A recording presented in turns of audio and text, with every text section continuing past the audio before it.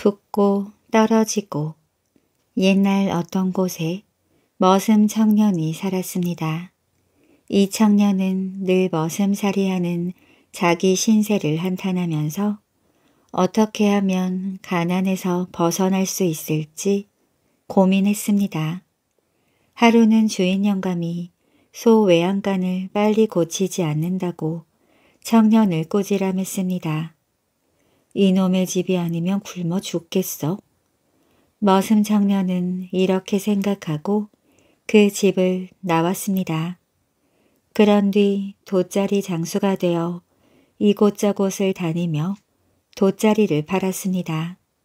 하루는 돗자리를 파느라 이 마을 저 마을을 돌아다니다가 산속에서 그만 해가 져버렸습니다.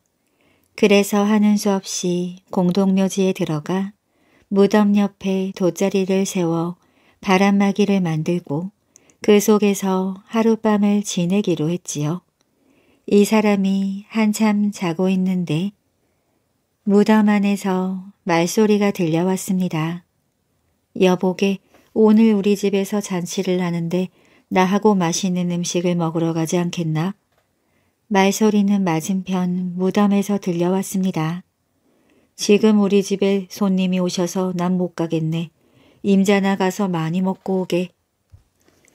이 소리는 돗자리 장수가 누워 자는 무덤 안에서 들려왔습니다. 돗자리 장수는 무덤 안에 있는 해골들이 주고받는 말을 듣고 너무 무서워 부들부들 떨면서 숨을 있는 힘껏 꽉 참고 있었습니다. 여보시오 나그네 양반 오늘 저녁은 참으로 고마웠습니다.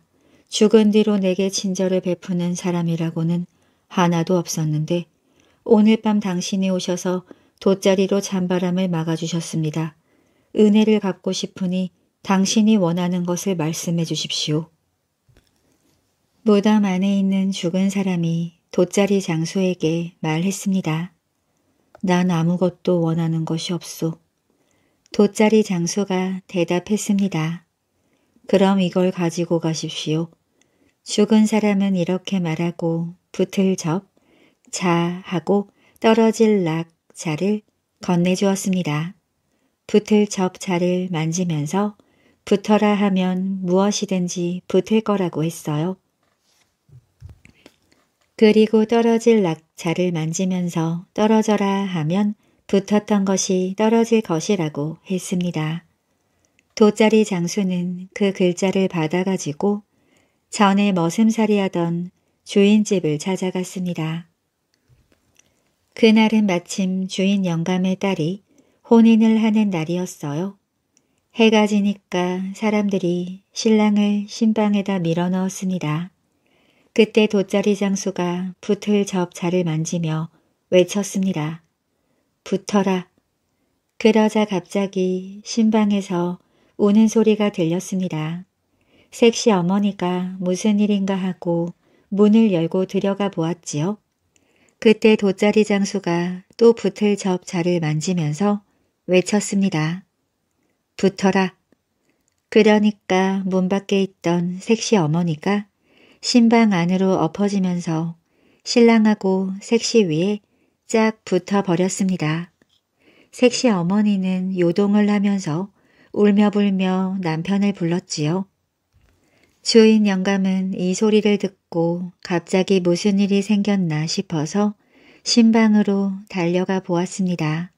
그때였어요.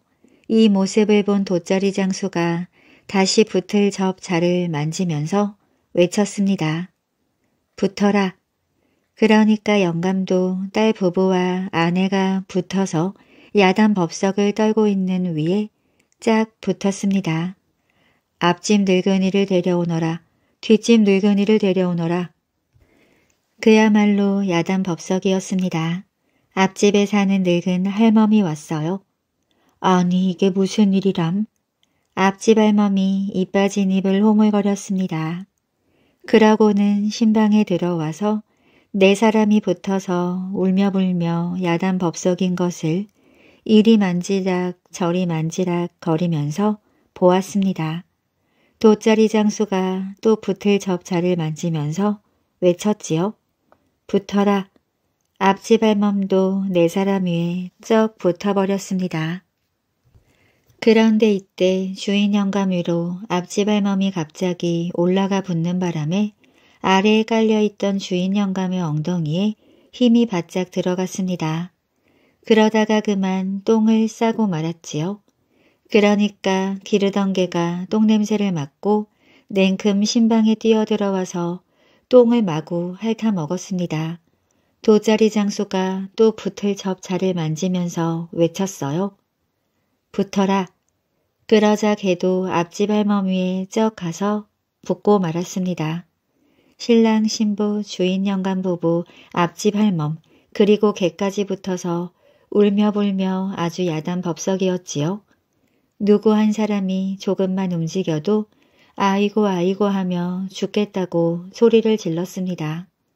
돗자리 장수는 좋아라 하며 이 모습을 문 밖에서 지켜보고 있었어요. 주인 영감이 눈물을 흘리며 돗자리 장수에게 말했습니다. 여보게 내 재산의 반을 나눠줄 테니 제발 좀 떼어주게. 돗자리 장수는 주인 영감이 이렇게 애원하자 불쌍한 마음이 들어 떨어질 낙자를 만지면서 외쳤습니다. 떨어져라. 그러니까 조금 전까지 서로 붙어서 괴로워하던 사람들과 개가 떨어져서 자유의 몸이 되었어요. 그리고 헐레벌떡 문 밖으로 뛰어 달아났습니다. 사람들은 이마에 흐르는 비지땀을 닦으면서 한숨을 내쉬었고 돗자리 장수는 불쌍한 신세를 벗어나게 되었답니다. 옴두꺼비와 색시 옛날 옛날 어떤 곳에 가난한 부부가 살았습니다.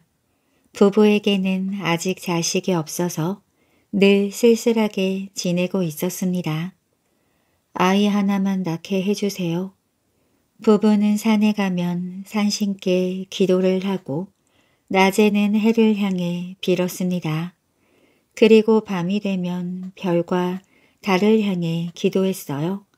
이렇게 몇 해 동안 정성껏 기도했더니 그 정성이 하늘에까지 닿았던 모양입니다. 마침내 아내가 아기를 베게 되어 부부는 한없이 기뻤습니다. 열 달 뒤에 아내는 아이를 낳았습니다. 그런데 아이라고 믿었던 것이 끔찍한 옹두꺼비였습니다. 부부는 하늘이 무너져 내린 것처럼 슬펐지요. 이것도 우리들 발자인가 보다.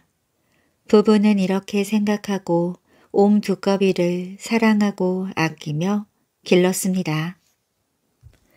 그러니까 옴 두꺼비는 마치 어린애 모양으로 먹을 것을 달라고 어리광을 떨었습니다. 그럴 때마다 부부는 싫어하는 내색 없이 옴두꺼비에게 맛있는 것을 만들어 주었어요. 옴두꺼비는 이렇게 부부의 사랑을 듬뿍 받으며 자랐습니다. 하루는 옴두꺼비가 어머니 앞에 와서 이렇게 말했습니다. 어머니, 저도 이제 어른이 되었으니 장가를 들어야겠습니다. 옴두꺼비가 한 놀라운 말은 이게 다가 아니었습니다. 이 동네 김자수 댁딸과 혼인을 맺게 해주십시오. 김자수라고 하면 이 동네에서 제일 가는 양반댁일 뿐만 아니라 제일 가는 부잣집이었습니다. 그런데 옹두꺼비가 그런 집 딸과 혼인을 하게 해달라고 하다니요. 어머니는 그저 어안이 벙벙해서 아무 말도 못하고 옴두꺼비를 쳐다보다가 타이르듯이 말했습니다. 얘야, 너도 알다시피 김자수는 이 근방에서 제일 가는 양반댁이다. 그런데 사람도 아닌 네가 어떻게 그 집에 장가를 들겠다고 하는 것이냐. 그러자 옴두꺼비가 어머니에게 말했습니다. 만약 아버지 어머니께서 김자수 댁딸하고 저를 혼인시켜주지 않으시면 저는 검을 들고 제가 나온 곳으로 도로 들어가겠습니다. 어머니가 눈물을 흘리며 아무리 마음을 돌이키라고 타일러도 옴두꺼비는 절대 굽히지 않았습니다. 죽어도 김자수 댁에 장가를 들겠다고 우겼지요. 되든 안 되든 김자수 댁에 가서 말씀이나 한번 드려보자. 옴두꺼비 아버지는 이렇게 생각하고 김자수를 찾아갔습니다. 자네 어떻게 왔는가? 네, 저 잠깐 뵙고 가려고 왔습니다. 옴두꺼비 아버지는 도무지 말이 나오지 않아서 옷자락만 만지작거렸습니다. 이렇게 얼마 동안 머뭇거리다가 겨우 입을 뗐습니다. 다름이 아니오라 목숨을 바치고 좌수님께 한 가지 부탁을 하러 왔습니다. 사실 좌수님께서도 소문을 들어서 아시겠지만 저희 아내가 낳은 자식이 옴두꺼비입니다. 옴두꺼비이긴 하오나 자식이라고 여기며 길러왔는데 이놈이 장가를 들겠다고 하지 않겠습니까? 그런데 택한 사람이 바로 이댁, 이댁, 아, 아가씨입니다. 옴두꺼비 아버지는 그만 목이 꽉 메어서 말도 제대로 하지 못했습니다. 몸에서는 비지땀이 줄줄 흘렀지요. 좌소영감은 이 말을 듣고 깜짝 놀랐지만 입 밖으로 한마디 말도 하지 않았습니다. 그런데 말입니다. 옴두꺼비 아버지는 겨우 말을 이었습니다.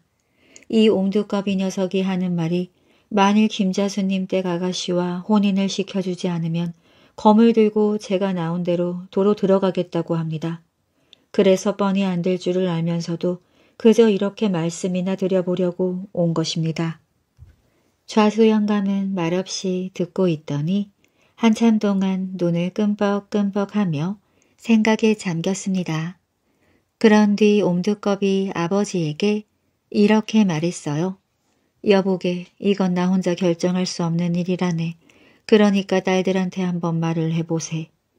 옴두꺼비 아버지는 좌수 영감님이 막 화를 내면서 어서 썩 나가라고 소리칠 줄로만 알았는데 그렇게 말해주자 그저 기쁘고 황송해서 절을 백번이나 했습니다.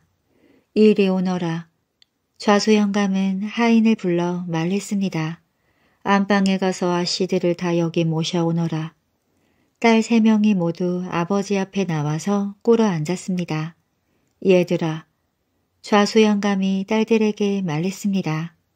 얘들아, 여기 앉아있는 사람은 너희들도 소문을 들어 잘 알고 있는 바로 그 옴두꺼비의 아버지다.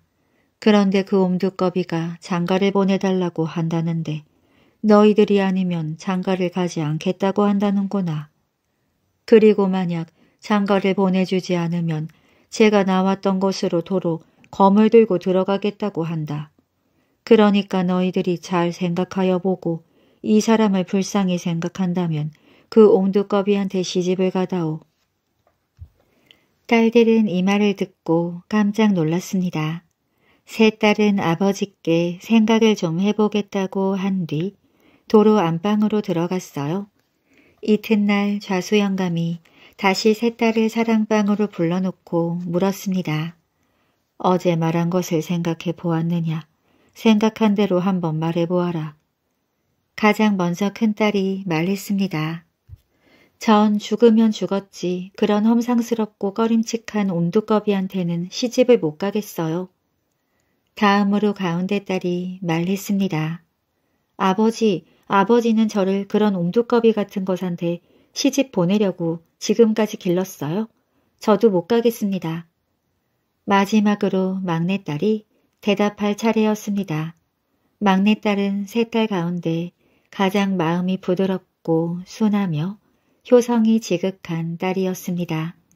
지금까지 저를 귀하게 길러주셨는데 은혜를 갚을 길이 없어 죄송했습니다. 저는 아버지가 그 두꺼비한테 시집가라고 하시면 말씀대로 따르겠습니다. 좌수영감은 기뻐하며 말했습니다. 참으로 장하다. 네가 진정한 내 딸이로구나. 좌수영감은 공부를 아주 많이 해서 앞니를 잘 꿰뚫어 보았습니다. 영감은 감히 제 딸에게 장가를 오겠다는 옴 두꺼비가 예사 옴 두꺼비는 아니라고 생각했어요. 이를 모르는 큰딸 가운데 딸은 옴두꺼비를 천하다며 처음부터 업신여겼습니다. 하지만 막내딸은 그 옴두꺼비한테 시집을 가면 옹두꺼비 어머니의 목숨을 살릴 뿐만 아니라 아버지께도 효도할 수 있는 기회라고 생각하여 옴두꺼비한테 시집갈 결심을 한 것입니다. 좌수영감은 옴두꺼비 아버지를 불러서 막내딸이 옴두꺼비에게 시집 가기로 했다는 말을 전했습니다. 그러니까 옴두꺼비 아버지는 그저 기뻐서 눈물을 줄줄 흘리며 좌수 영감에게 감사의 절을 했습니다. 옴두꺼비 어머니와 옴두꺼비의 기쁨도 말할 수 없이 컸습니다. 결국 옴두꺼비와 좌수 영감의 막내딸은 정식으로 혼인을 하기로 약속했습니다. 그런 뒤 좌수영감은 중매인을 내세워 남은 딸들도 좋은 혼처를 정했습니다. 그리고 막내딸을 하루 바삐 시집 보내려고 큰딸과 가운데딸의 혼인을 서둘러 치렀지요. 드디어 옹두꺼비가 장가오는 날이 되었습니다. 큰딸과 가운데딸은 입을 실룩실룩 하면서 아우를 못살게 굴었습니다. 별일도 다 있어. 젊은 아이 어디 시집을 못 가서 하필 옹두꺼비 같은 것한테 시집을 가겠다고 하였을까? 우리가 도리어 부끄러워서 못 살겠어. 막내딸은 언니들의 구박을 꾹 참고 견디었습니다.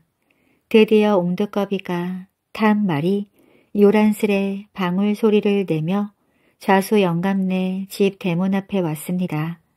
다가가서 보니까 말 등에 맷돌만한 옴 두꺼비가 입을 넙죽넙죽 벌렸다 다물었다 하면서 퉁방울 같은 눈을 껌뻑거리며 앉아 있었습니다. 사람들은 모두 옴두꺼비를 비웃었어요. 그러나 좌수영감님의 막내딸만은 속으로 이렇게 생각했습니다. 일단 남편이라고 정한 이상은 옴두꺼비이건 무엇이건 간에 나는 그의 아내이다. 그러니 아내 된 도리를 다해야겠다. 막내딸은 조금도 서슴지 않고 옴두꺼비를 반겨 맞았습니다. 그날 저녁 신방에 들어가서 자려고 하는데 옴두꺼비 신랑이 색시에게 말했습니다.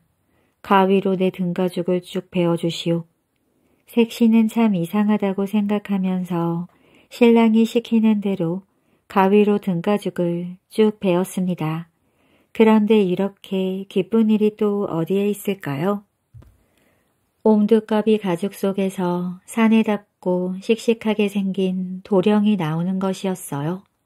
좌수영감의 막내딸은 말할 수 없이 기뻤습니다. 그러나 아무한테도 말하지 않았어요. 막내딸이 기쁨을 참지 못해 방글방글 웃으니까 언니들이 또 놀려댔습니다. 저것 좀 봐. 저 아이는 사람이 아닌가 봐. 옴두꺼비 서방을 맞은 게 무엇이 기뻐서 저렇게 방글방글 웃을까? 집안이 망할 징조야. 하루는 좌수영감네 사위들이 산으로 사냥을 갔습니다. 큰딸 가운데의 딸의 남편은 아주 용기 있게 활을 어깨에 메고 말을 탔지요. 그러고는 옴두꺼비 곁에 와서 옴두꺼비를 조롱하듯이 말했습니다. 자네도 사냥하는데 가보고 싶으면 같이 가세나. 옴두꺼비는 고개를 끄덕끄덕하며 가겠다는 뜻을 표시했습니다. 옴두꺼비는 하인 한 명을 데리고 다른 사람들 뒤를 슬렁슬렁 따라갔어요. 다른 사람들은 산에 가서 이리저리로 말을 빠르게 몰아 달리면서 산 짐승을 따라다니느라 바빴습니다. 옴두꺼비는 하인을 데리고 산 꼭대기에 올라가서 하인더러 등가죽을 가위로 베어달라고 하였습니다. 하인은 주인이 시키는 대로 등가죽을 베었지요. 그러자 산에답고 씩씩한 도령이 나왔습니다. 하인은 하마터면 기절할 뻔했지요. 늠름한 도령은 무엇을 외우는지 중얼중얼 하면서 공중에서 손을 두세 번 허우적거렸습니다. 그랬더니 어떻게 된 일인지 난데없이 머리가 하얀 영감한 분이 나타나더니 늠름한 도령 앞에 꿇어 엎드리는 것입니다. 여보게, 도령이 그 영감에게 말했습니다. 산신 영감, 오늘 사슴이 한 백마리쯤 있어야 하니 수고롭겠지만 좀 잡아다 주게. 그러니까 산신이라는 영감이 공손히 대답했습니다. 네, 곧 가져오겠습니다. 산신 영감은 도령에게 한 번 절을 한 다음 온데간데 없이 사라졌습니다. 그렇게 얼마 있으니 산 아래에서 백마리쯤 되는 사슴무리가 올라왔습니다. 하인은 이 광경을 보고 깜짝 놀라 옴두꺼비 도령 앞에 주저앉으면서 코를 땅에 대고 절을 올렸습니다. 옴두꺼비 도령은 하인을 보고 웃으면서 말했습니다. 자 여보게 나는 이제 다시 두꺼비가 되어야 하네. 두꺼비 가죽을 가져다 주게. 도령은 다시 옴두꺼비 가죽을 뒤집어 썼습니다. 맏딸의 남편과 가운데 딸의 남편은 땀을 줄줄 흘리면서 숨가쁘게 사냥을 다녔지만 사슴은커녕 다람쥐 한 마리도 잡지 못했습니다. 그런데 옹두꺼비가 백마리나 되는 사슴을 잡아가지고 오는 거예요. 더 이상한 일은 사슴들이 도무지 달아나려고 하지 않고 하인이 모는 대로 순순히 고개를 숙이고 따라오는 것입니다. 두 사람은 대체 이게 어찌 된 일인지 몰랐습니다. 암만 생각해도 옴두꺼비가 잡았다고 생각할 수가 없었어요. 큰딸의 남편과 가운데 딸의 남편은 집에 돌아갈 일이 난처하기만 했습니다. 사슴은커녕 다람쥐 한 마리도 못 잡아가면 아침에 사냥을 간다며 뽐낸 것이 우스워질 게 분명했기 때문입니다. 두 사람의 얼굴은 모닥불을 놓은 것 같이 뜨거웠습니다. 저놈의 옴두꺼비가 잡았다고 믿을 사람이 누가 있겠는가? 우리가 사슴들을 잡았다고 거짓말을 하세. 두 사람은 이렇게 말한 뒤 말을 달려서 사슴들을 빨리 몰아가지고 옴두꺼비보다 먼저 집으로 갔습니다. 두 사람은 말에서 뛰어내리며 모든 사람에게 거짓말을 했어요. 자, 이게 다 우리가 사냥해 온 것입니다. 이날 좌수영감 집에서는 사슴을 요리하여 큰 잔치를 베풀었습니다. 옴두꺼비는 여러 사람들이 즐겁게 먹고 마시고 노래 부르고 있을 때가 되어서야 비로소 집으로 돌아왔지요. 옴두꺼비를 보고 좌수영감의 맏딸과 가운데 딸이 막내 동생을 얄밉게 조롱했습니다.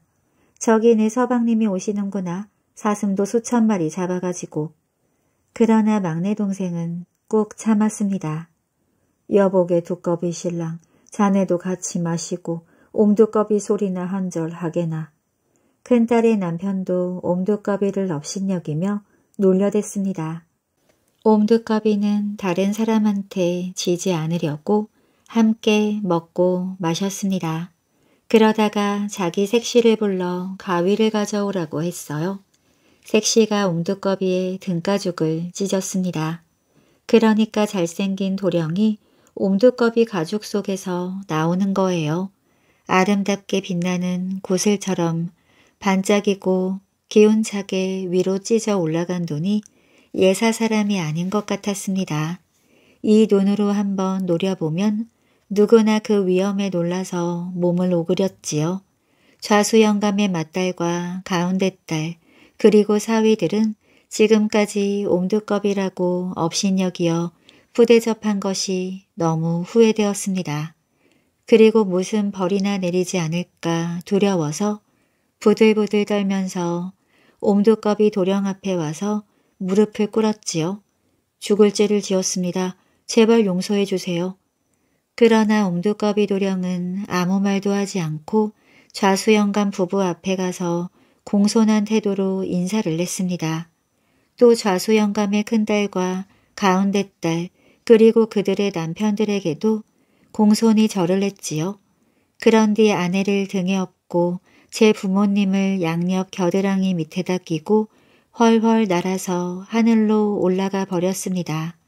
이 모습을 본 좌수 영감 부부는 무척이나 기뻤답니다. 홀 아비 훈장과 제자 시골 사당에 맹랑한 학동이 하나 있었습니다. 일곱 살밖에 안 된 녀석이 이따금 엉뚱한 짓을 잘했지요. 다른 고을에서 온 훈장은 집이 몹시 가난한 데다 홀라비어서 파접을 해도 자기 집에 가지 않고 그대로 서당에 눌러 있었습니다. 꼬마는 어린 눈에도 그게 안 되었다 싶었는지 엉뚱한 짓을 했지요. 훈장님, 이 동네에 예쁜 과부가 있습니다. 그 과부하고 결혼하세요. 예끼, 어린 녀석이 못하는 말이 없구나. 훈장은 엉뚱한 소리에 허허 웃으며 나무랐습니다. 꼬마는 다음 날도 훈장한테 갔지요. 훈장님, 혼자 사시면 심심하기도 하고 여러 가지로 고생이 많으신 것 같습니다. 그 과부하고 결혼하십시오. 어린 녀석이 무슨 그런 엉뚱한 소리를 자꾸 하느냐. 훈장은 또 허허 웃었습니다. 꼬마는 그 다음 날도 같은 소리를 했어요. 훈장님, 우리 할아버지 말씀이 고라도 적국이 좋고 늙어도 할멈이 좋다고 하십디다. 그 과부하고 결혼하세요. 허허, 이런 맹랑한 녀석이 있나. 훈장은 나무라면서도 녀석이 허투루 하는 소리가 아닌 것 같아 싫지 않은 눈치였습니다. 꼬마는 다음 날 아침 일찍 과부 집으로 갔어요. 아주머니, 우리 훈장님 여기 오셨지요? 꼬마는 시치미를 떼고 물었습니다. 뭐라고? 너희 훈장님이 우리 집에 오셨냐고? 이 녀석아, 향교에 가서 스님을 찾아라. 너희 훈장님이 우리 집에 오시기는 뭐하러 오신단 말이냐? 여기 오신 줄 알았는데. 뭐? 어린 녀석이 무슨 그런 터무니없는 소리를 하고 있느냐? 과부는 누가 들을까 싶어 주먹을 얼으며 꼬마를 쫓았습니다. 꼬마는 다음 날도 아침 일찍 과부 집에 갔어요. 아주머니, 어제 저녁에는 틀림없이 우리 훈장님이 여기 오셨지요? 이 녀석아, 너희 훈장님이 오긴 어디로 오셨다고 자꾸 그런 정신 나간 소리를 하는 거야. 과부는 또 벌컥 성을 냈습니다. 숨길 것 없어요. 우리들은 다 알고 있다고요. 뭐? 알긴 뭘 한단 말이야. 과부는 부지깽이를 들고 쫓아왔습니다. 녀석은 뭘 그러느냐는 표정으로 해죽해죽 웃으며 도망쳤지요. 과부는 조금 쫓다 말고 돌아섰습니다. 꼬마는 그 길로 훈장한테로 갔습니다. 훈장님, 이제 일이 다 되었습니다. 훈장님께서는 제가 하시라는 대로만 하십시오. 일이 다 되기는 무슨 일이 다 됐다고 또 그런 엉뚱한 소리를 하는 게냐? 훈장은 녀석이 하는 짓이 별로 싫지 않은 데다 기특하기도 하여 한참 웃었습니다. 저를 따라가셔서 그 집 안방에 잠깐만 앉아 계시면 됩니다. 이 녀석아 내가 어떻게 그런 법도에 없는 일을 한단 말이냐? 훈장님, 훈장님께서는 저희들을 가르치실 때 하나만 알고 둘은 몰라서는 안 된다고 하셨습니다. 그런데 훈장님이야말로 하나만 아시고 둘은 모르십니다. 세상의 법도 가운데서 남자와 여자가 부부가 되어 사는 법도보다 더 큰 법도가 어디 있습니까? 그렇게 큰 법도는 놔두시고 자잘한 법도에만 얼매여 계시니 그거야말로 하나만 알고 둘은 모르는 일이 아니고 무엇이겠습니까? 어허, 내일부터는 너하고 내가 자리를 바꿔 앉아야겠구나. 훈장은 한참 웃었습니다. 하여간 제가 말씀드린 대로만 하십시오. 꼬마는 훈장의 손을 잡아 끌었어요. 어허, 이런 맹랑한 녀석이 있나. 훈장은 허허 웃으며 못 이기는 척 꼬마를 따라갔습니다. 훈장님, 여기 담 곁에서 조금만 기다리세요. 그러면 그 과부가 부지깽이를 들고 저를 쫓아올 것입니다. 저는 저쪽으로 도망칠 테니 그 사이 훈장님께서는 저 집 안방에 들어가셔서 그냥 점잖게 앉아만 계십시오. 그러면 일은 다 됩니다. 꼬마는 훈장한테 쫑알거려 놓고 그 집으로 팔랑팔랑 들어갔습니다. 아주머니 오늘은 제가 다 알고 왔습니다. 어젯밤에 우리 훈장님께서 이 집으로 들어가시는 것을 제가 이 두 눈으로 똑똑히 봤습니다. 이런 생사람 잡을 녀석을 봤나? 뭐가 어쩌고 어째? 과부는 또 부지깽이를 들고 쫓아왔어요. 아주머니 그렇게 시치미를 때도 소용없어요. 제가 다 보았는걸요? 꼬마는 훈장이 서 있는 곳과 반대쪽 길로 도망치며 계속 쫑알거렸습니다. 보긴 뭘 봤단 말이냐. 거기 서지 못해. 아주머니 정말로 우리 훈장님이 어젯밤에 아주머니 댁에서 안 주무셨단 말씀이십니까? 그럼 지금 가서 방을 들여다볼까요? 뭐라고? 방을 보자고? 그러자 당장 가자. 봐서 없으면 어쩌겠느냐. 그 부지깽이로 볼기가 터지도록 얻어맞겠습니다. 좋아, 가자. 저도 아주머니한테 다짐을 받을 게 있습니다. 가서 우리 훈장님이 방 안에 계시면 어쩌겠습니까? 그때는 두말 없이 훈장님과 함께 사시는 거지요. 그런 말도 안 되는 소리는 하지도 마라. 하여간 좋습니다. 녀석은 당당하게 앞장을 서서 과부 집으로 갔지요. 쪼르르 마루로 올라가 방문을 벌컥 열었습니다. 여기 계시지 않습니까? 안을 들여다본 과부는 입이 떡 벌어졌습니다. 아주머니는 의문하기도 하셔. 아니 도대체 저 영감이? 과부는 말을 못하고 멍청하게 서 있었어요. 아주머니 이제 소문내도 상관없겠지요? 이 일을 어쩌나 이 녀석아 내 말 좀 들어봐라. 그 사이 훈장은 거북살스런 꼴로 방을 나와 안개 속에 소 나가듯 대문을 빠져나갔습니다. 과부는 꼬마가 소문을 낸다는 말에 제정신이 아니었지요. 훈장한테는 따지고 자시고 할 경황도 없었습니다. 제발 소문만 내지 마라. 이건 애먼 일이다. 소문만 내지 말라고요? 소문 내지 않을 테니 그럼 서당에 떡 한 시루만 해다 주십시오. 떡 한 시루? 소문만 안 내겠다면 해다 주다마다. 과부는 부랴부랴 떡을 한 시루 해서 서당으로 가져갔습니다. 느닷없는 떡시루를 보자 학동들은 어리둥절했지요. 이게 무슨 떡인 줄 아느냐? 우리 훈장님하고 저 과부 아주머니하고 결혼을 난 이바지 떡이다. 와! 학동들은 환성을 질렀습니다. 아니, 저 녀석이. 과부는 어쩔 줄을 몰랐습니다. 훈장은 소한테 몰린 꼴로 해벌쭉 웃고 있었지요. 꼬마는 그 떡을 학동들 앞에 반쯤 덜어놓은 다음 반을 들고 동네 공동 우물로 달려갔습니다. 동네 여자들이 물을 깃고 있었어요. 우리 훈장님하고 서당 뒷집 아주머니하고 오늘 혼인을 하셨습니다. 이건 그 이바지 떡입니다. 맛있게 잡수십시오. 물깃던 아주머니들은 모두 잘 되었다고 깔깔거리며 떡을 받았답니다. 지팡이를 휘두른 이유 옛날 옛날 한 총각이 과거에 급제하기 위해 10년 동안 공부할 작정으로 산에 있는 절을 찾아갔습니다. 하루는 깊은 숲속을 가는 도중에 해가 저물어 주위가 캄캄해졌습니다. 바로 눈앞에 있는 풀 한 포기조차 제대로 볼 수가 없었지요. 어디 하룻밤을 자고 갈 집이 없나? 총각이 사방을 도리번거리며 살펴보는데 나무 사이로 반짝이는 불빛이 보였습니다. 됐다. 저기 집이 있구나.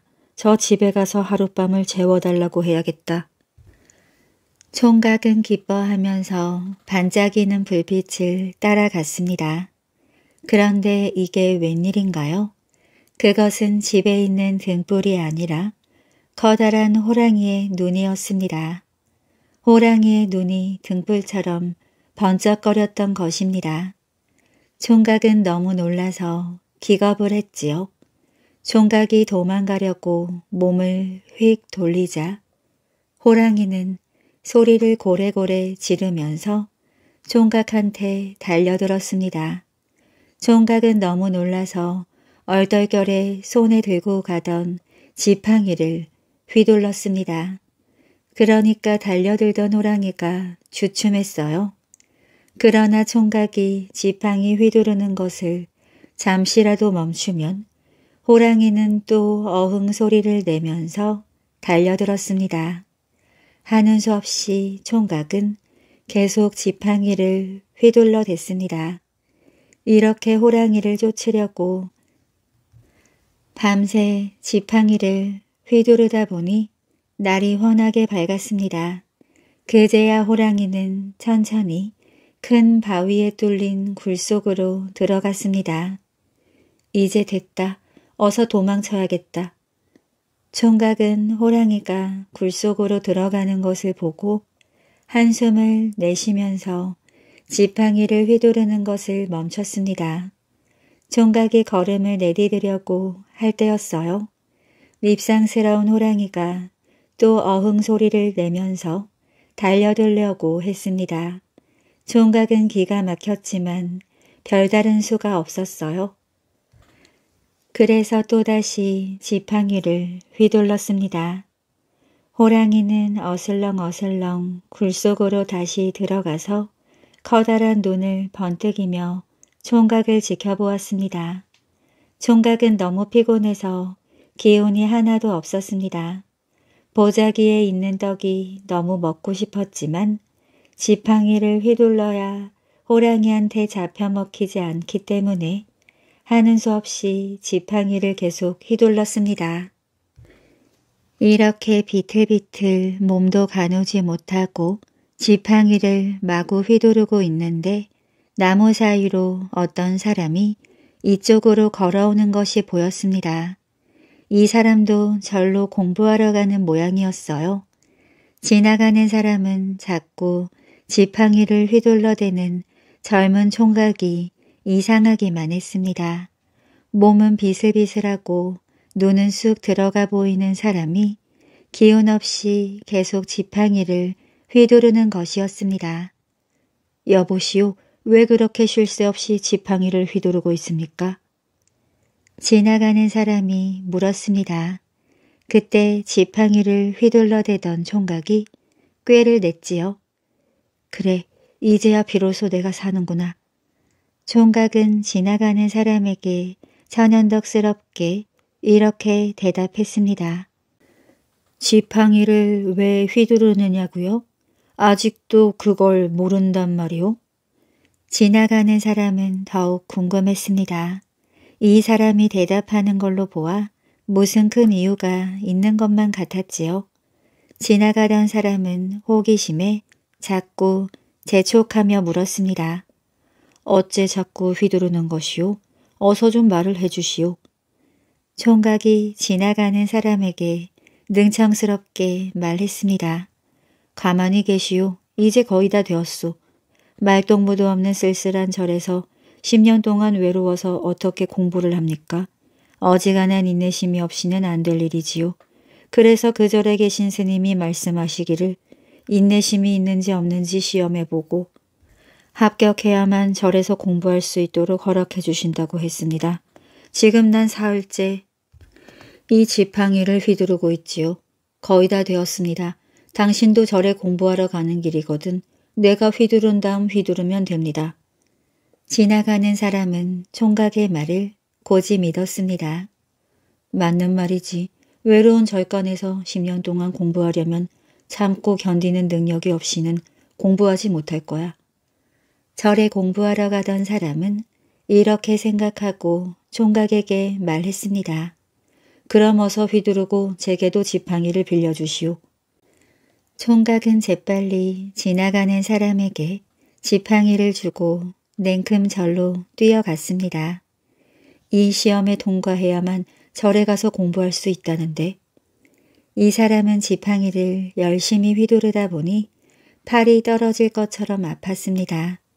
그래서 조금 쉬었다가 휘두를 생각으로 잠시 멈추고 풀 위에 펄썩 주저앉았지요. 그러니까 바위 아래에서 큰 호랑이 한 놈이 어흥 소리를 내면서 시뻘건 입을 벌리고 달려왔습니다. 이 사람은 깜짝 놀랐습니다. 너무 무서워서 정신없이 그저 얼떨결에 지팡이를 휘둘렀지요. 이 사람은 아까 본 총각이 어째서 지팡이를 그렇게 휘둘러댔는지 그제야 알았습니다. 그러나 이제 와서 어쩔 도리가 없었어요. 지팡이를 휘두르지 않으면 죽게 될 판이었습니다. 이 사람은 하는 수 없이 눈물을 줄줄 흘리면서 지팡이를 휘둘렀습니다. 냉큼 도망친 총각은 절에 가서 10년 동안 공부를 했습니다. 그리고 절을 떠나 10년 전에 자기가 호랑이 때문에 혼쭐이 났던 곳을 지나게 되었습니다. 그런데 허옇게 샌 머리카락이 발까지 닿고 몸은 파리에서 막대처럼 보이는 늙은 영감이 지팡이를 비틀비틀 휘두르고 있었습니다. 자세히 보니 이 영감은 10년 전에 자기가 지팡이를 건네준 바로 그 사람이었답니다. 사시 남정기 옛날 중국 순천부 땅에 유현이라는 이름난 사람이 있었습니다. 유현은 높은 벼슬에 재산도 넉넉하여 남부러울 것이 없었어요. 다만 한 가지 자식이 없다는 게 걱정이었습니다. 그러다 늦게야 겨우 아들을 낳았으나 부인이 세상을 떠나고 말았습니다. 아들의 이름은 연수로 어려서부터 매우 총명하였어요. 유연은 연수의 재롱을 부인과 함께 즐기지 못하는 것이 슬펐습니다. 연수도 돌아가신 어머니를 그리워했어요. 연수야, 이리 좀 들어오너라. 예, 아버지, 내 고모시다. 인사드리렴. 연수 너를 보기가 딱해서 고모를 모셔왔단다. 어머니처럼 생각하고 따르거라. 고모는 어머니처럼 연수를 보살펴 주었습니다. 남달리 총명한 연수는 열심히 공부하여 어린 나이에 꽤 많은 학문을 익혔습니다. 15살에는 과거에 붙었어요. 내 나이가 15밖에 안 됐다고? 장하다 장해. 연수의 학문과 재주를 어여삐 여긴 임금은 연수에게 한림 학사라는 벼슬을 내렸습니다. 이때부터 연수는 유한림으로 불렸지요. 유한림이 나이가 차서 스무 살이 되자 사방팔방에서 색시감이 나서기 시작했습니다. 유현은 하루빨리 참한 색시를 찾고자 하였는데 어떤 여스님이 찾아와서 처녀 한 명을 소개했습니다. 사시성을 가진 처녀였는데 댐댐이가 바르고 똑똑하기로 소문이 나 있었지요. 유현이 만나보니 과연 빼어난 처녀였습니다. 그로부터 몇 달 뒤 유한림은 사씨를 아내로 맞았습니다. 사씨 부인은 시아버지를 정성껏 받들고 남편을 섬겼습니다. 그러나 그 행복은 오래가지 못했어요. 유현이 병을 얻어 몸져 눕고 만 것입니다. 시름시름 앓던 유현은 다시 일어나지 못할 것을 알고 아들 한림의 손을 잡고 말했습니다. 앞으로 고모와 힘을 합해 집안을 빛내거라. 며느리 사씨 부인에게는 마지막까지 칭찬을 아끼지 않았습니다. 너는 어진 아내로서 나무랄 데가 없으니 안심하고 세상을 떠날 수 있겠구나. 그러고는 결국 눈을 감았습니다. 유할림과 사씨 부인은 슬픔을 감출 길이 없었지요. 유할림은 장례를 치르고 벼슬에 다시 나갔으나 간신들로 바글거리는 조정에서 제대로 일을 할 수 없었습니다. 게다가 나이 서른이 되도록 자식이 없자 사시 부인은 걱정스러웠어요. 서방님 결혼한 지 10년이 넘도록 자식이 없습니다. 시집 와서 아기를 못 낳는 것이 가장 큰 죄라 했는데 전 영영 아이를 못 낳을 것 같으니 아내를 하나 더 얻으십시오. 어진 여인을 들여 아들, 딸을 얻으면 집안의 경사일 것입니다. 유알림과 고모는 반대하였으나 사시 부인이 뜻을 굽히지 않아 새 부인을 얻기로 하였습니다. 새로운 처녀는 교시였는데 자태가 매우 아름다웠어요. 그러나 마음은 사악한 사람이었습니다. 부인은 유할림의 집으로 시집 온 지 1년도 못 되어 기다리던 아들을 낳았습니다. 유할림은 아들을 장주라고 이름 지었고 사시 부인은 장주를 친자식처럼 소중히 보살폈지요. 아들을 낳은 뒤로 유할림의 교시 부인에 대한 사랑은 더욱 깊어졌습니다. 어느 늦봄 사시 부인이 꽃구경을 하고 있는데 바람결에 교시 부인의 노랫소리가 은은히 들려왔습니다. 노래를 귀 기울여 듣던 사시 부인은 깜짝 놀랐어요. 노래 부르는 목소리는 아름다웠지만 노랫말이 아주 좋지 못한 내용이었기 때문입니다. 사시 부인은 교시 부인을 불러 타일렀습니다. 자네의 노래는 무척 아름답네. 그러나 노랫말은 그게 무언가. 정숙한 여인이 부를 노래가 못 되는 줄 아네. 다시는 그런 일이 없도록 조심하게. 예, 알겠습니다. 교시 부인은 꾸지람을 들은 것이 창피해서 견딜 수가 없었어요. 그날 저녁 유할님이 집에 돌아오자 교시 부인이 말했습니다. 제가 노래를 부르고 있었는데 사시 부인이 집안을 어지럽히는 소리이니 다시는 노래를 하지 말라고 꾸중하셨습니다. 유할님이 깜짝 놀라며 사시 부인의 질투라 생각하고 교시 부인을 위로하였습니다. 나쁜 마음으로 한 말이 아닐 테니 쓸데없는 걱정은 말고 안심하시오.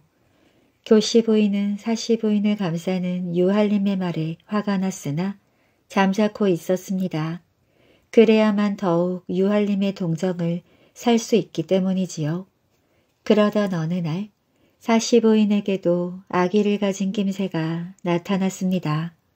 이 소식을 들은 유할림과 집안 사람들은 뛸 듯이 기뻐했어요. 그러나 교시 부인은 마음이 언짢았습니다.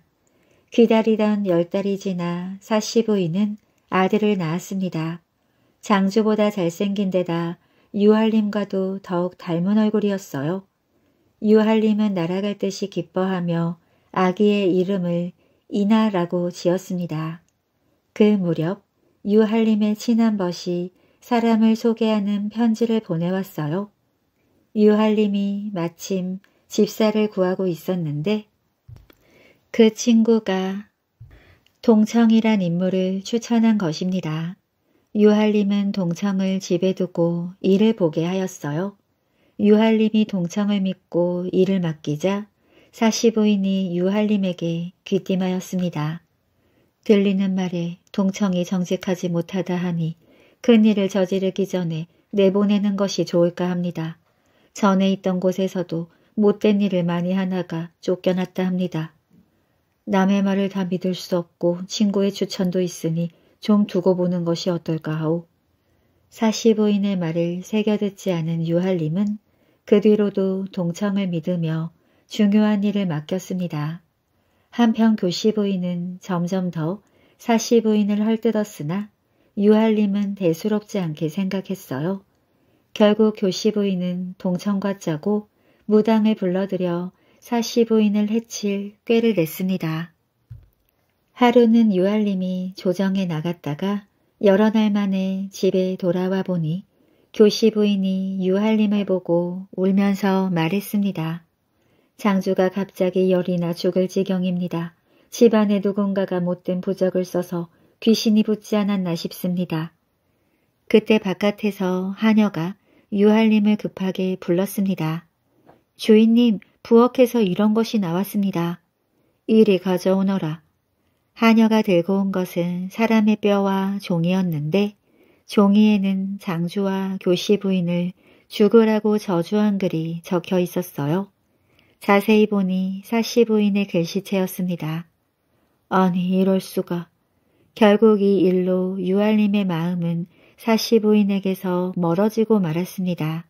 하지만 사실 부엌에 뼈와 종이를 둔 사람은 다름 아닌 교시 부인이었고 종이의 글씨는 동청이 사시 부인의 글씨체를 흉내내어 쓴 것이었지요. 며칠 뒤 유할림은 임금의 명을 받고 몇 달 동안 다른 마을에 가 있게 되었습니다. 유할림이 집을 떠나자 교시 부인과 동청은 더욱 가까워졌습니다.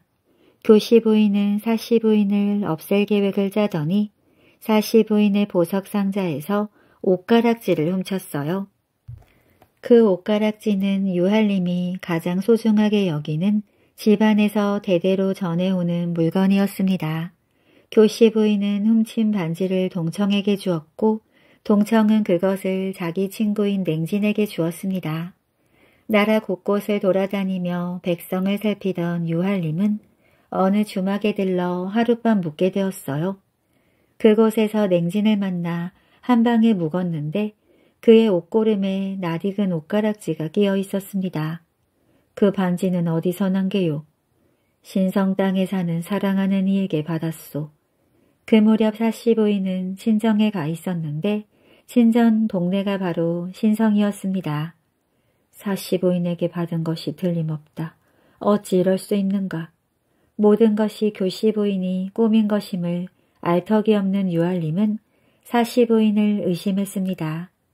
유알림이 일을 마치고 집에 돌아오니 사씨 부인도 집에 돌아와 있었어요. 부인, 당신의 옷가락지는 어디에 있소? 어디 한번 봅시다. 보석 상자를 열어보니 다른 보석은 다 있는데 옷가락지만 없었습니다. 깜짝 놀라는 사씨 부인에게 유알림은 버럭 소리를 질렀어요. 다른 남자에게 사랑을 맹세하고 옷가락지를 빼준 것을 내가 모를 줄 아시오. 사씨 부인은 억울한 마음에 어찌할 바를 몰랐으나 유알림은 사씨 부인에 대한 의심을 풀지 않았습니다. 한편 교씨 부인은 또 아들을 낳았는데 유알림은 봉추라 이름을 짓고 더욱 사랑하였지요. 그 무렵 무당은 사씨 부인을 완전히 내쫓기 위해 교씨 부인의 큰아들을 죽여야 한다고 했습니다. 교씨 부인은 처음엔 깜짝 놀라 펄쩍 뛰었지만 결국 큰아들 장주의 약에 독을 타게 했어요. 장주가 약을 먹자마자 온몸이 부어오르며 큰 소리를 지르곤 죽자 교시 부인은 대성통곡을 하였습니다. 유알림이 친척을 모아놓고 사시 부인의 죄와 의심스러운 일들을 다 말했어요. 하지만 모든 사람이 사시 부인의 성품을 알고 있었으므로 그 말을 믿지 않았습니다. 그러면서도 일에 말려들기를 꺼려 아무도 사시 부인의 편을 들어주는 이가 없었어요. 결국 유할림은 사씨 부인을 쫓아냈습니다. 꼴도 보기 싫소. 썩 내 집에서 나가시오. 이나까지 빼앗기고 쫓겨난 사씨 부인은 눈물이 앞을 가렸습니다. 사씨 부인은 돌아가신 시아버지의 무덤 옆에 움막을 짓고 살았어요. 사씨 부인은 풀뿌리를 캐어 먹으며 가까스로 목숨을 이어갔습니다. 어느 날은 혼자 앉아 있다가 졸았는데 꿈에 시아버지가 나타났습니다. 어리석은 아이가 너같이 어진한 애를 내쫓아 고생을 시키니 내 마음이 아프구나. 하지만 참거라. 너는 7년 동안 고생할 논이니 비에 있거라. 여기서 백길로 오천리 떨어진 남쪽으로 가서 살거라. 거기에서 7년 뒤 4월 15일 밤 강에 배를 대어 목숨이 위태로운 사람을 구하여라. 참 이상한 꿈이었습니다. 어찌나 생생하던지요. 사시 부인은 슬픔을 뒤로 한 채 배를 타고 남쪽으로 떠났습니다. 그 무렵 나라에서는 엄승상이라는 간신이 달콤한 말로 임금을 속여 나라가 무척 어지러웠습니다. 유알림은 임금께 아뢰었어요. 엄승상을 멀리하셔야 합니다. 백성은 굶주리고 나라가 어지럽사옵니다. 그러나 임금은 그 말을 듣지 않은 채 엄승상만을 가까이 두었습니다.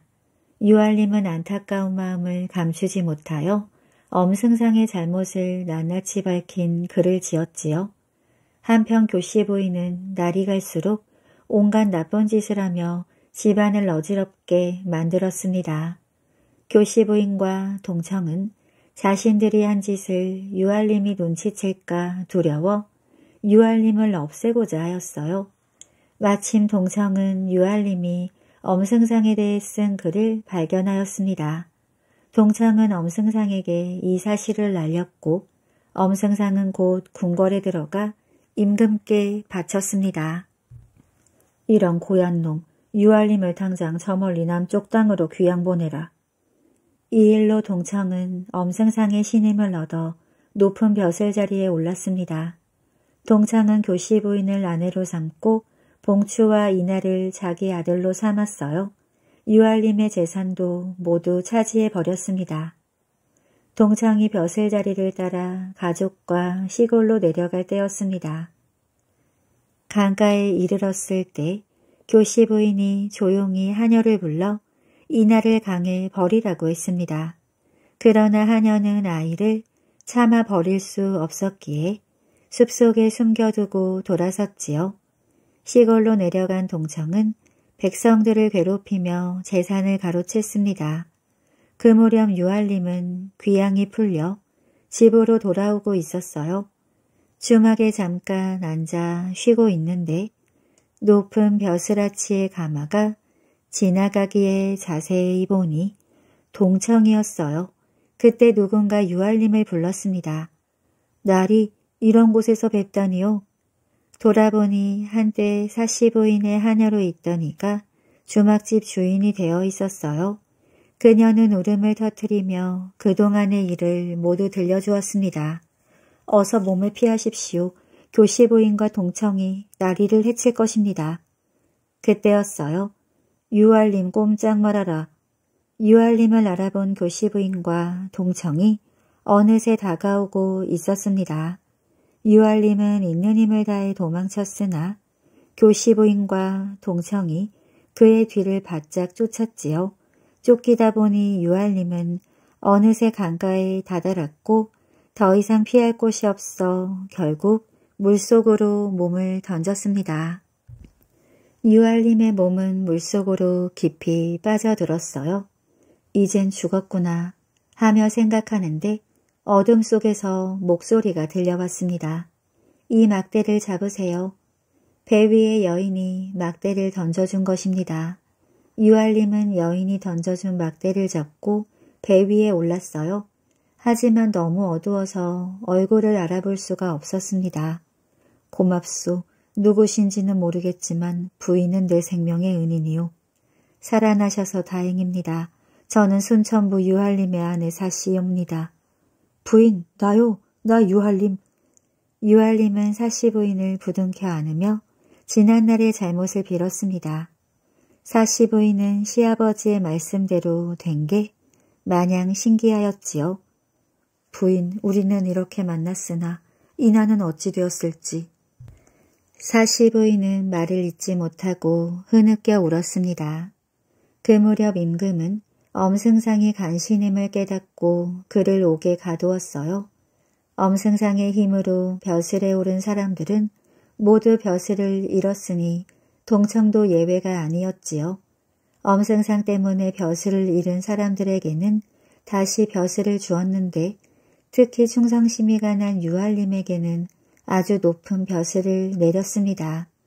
그러나 이날을 잃은 사씨 부인과 유할림은 슬픔을 떨칠 수가 없었어요. 이제 이나는 죽고 자식이 없으니 새 아내를 얻으시는 게 어떨까요? 또 그 소리요. 다시는 다른 여자를 집안에 들이지 않을 것이요. 제가 받은 사람이 있습니다. 천사같이 어진 사람입니다. 남쪽으로 도망가 있을 때 저를 보살펴준 사람입니다. 사시부인의 부름을 받고 올라온 이는 임시성을 가진 처녀였습니다. 임씨는 남동생이라며 못 보던 아이를 데리고 왔어요. 7년 전에 주운 아이를 친동생처럼 거둔 것이라 하였습니다. 그런데 갑자기 소년이 울음을 터뜨리며 말했어요. 어머니, 저를 몰라보시겠습니까? 저 이나입니다. 이나야, 이게 꿈이냐 생시냐. 이나와 사씨 부인 유알님은 서로 부둥켜 안고 울었습니다. 그때부터 임시 처녀 역시 한 집에 살게 되었는데 유할림을 잘 받들고 사시 부인을 친언니처럼 따랐답니다. 유할림은 동청과 교시 부인을 붙잡아 엄한 벌을 내렸어요. 이나는 무럭무럭 자랐고 유할림의 덕은 날로 높아만 갔답니다. 지혜로운 떡보 아주 오래전에 중국이 우리나라와 지혜 다투기를 하자면서 중국에서 가장 지혜로운 사람을 보냈습니다. 우리나라에서도 나라의 명예가 달린 아주 중요한 일이었으므로 허술로이 해서는 안 되겠다고 생각해서 대신들이 모여 토론을 했지요. 왕은 전국에 다음과 같은 포고를 내렸습니다.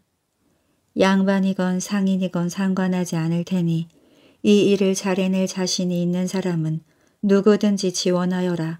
상은 달라는 대로 줄 것이다.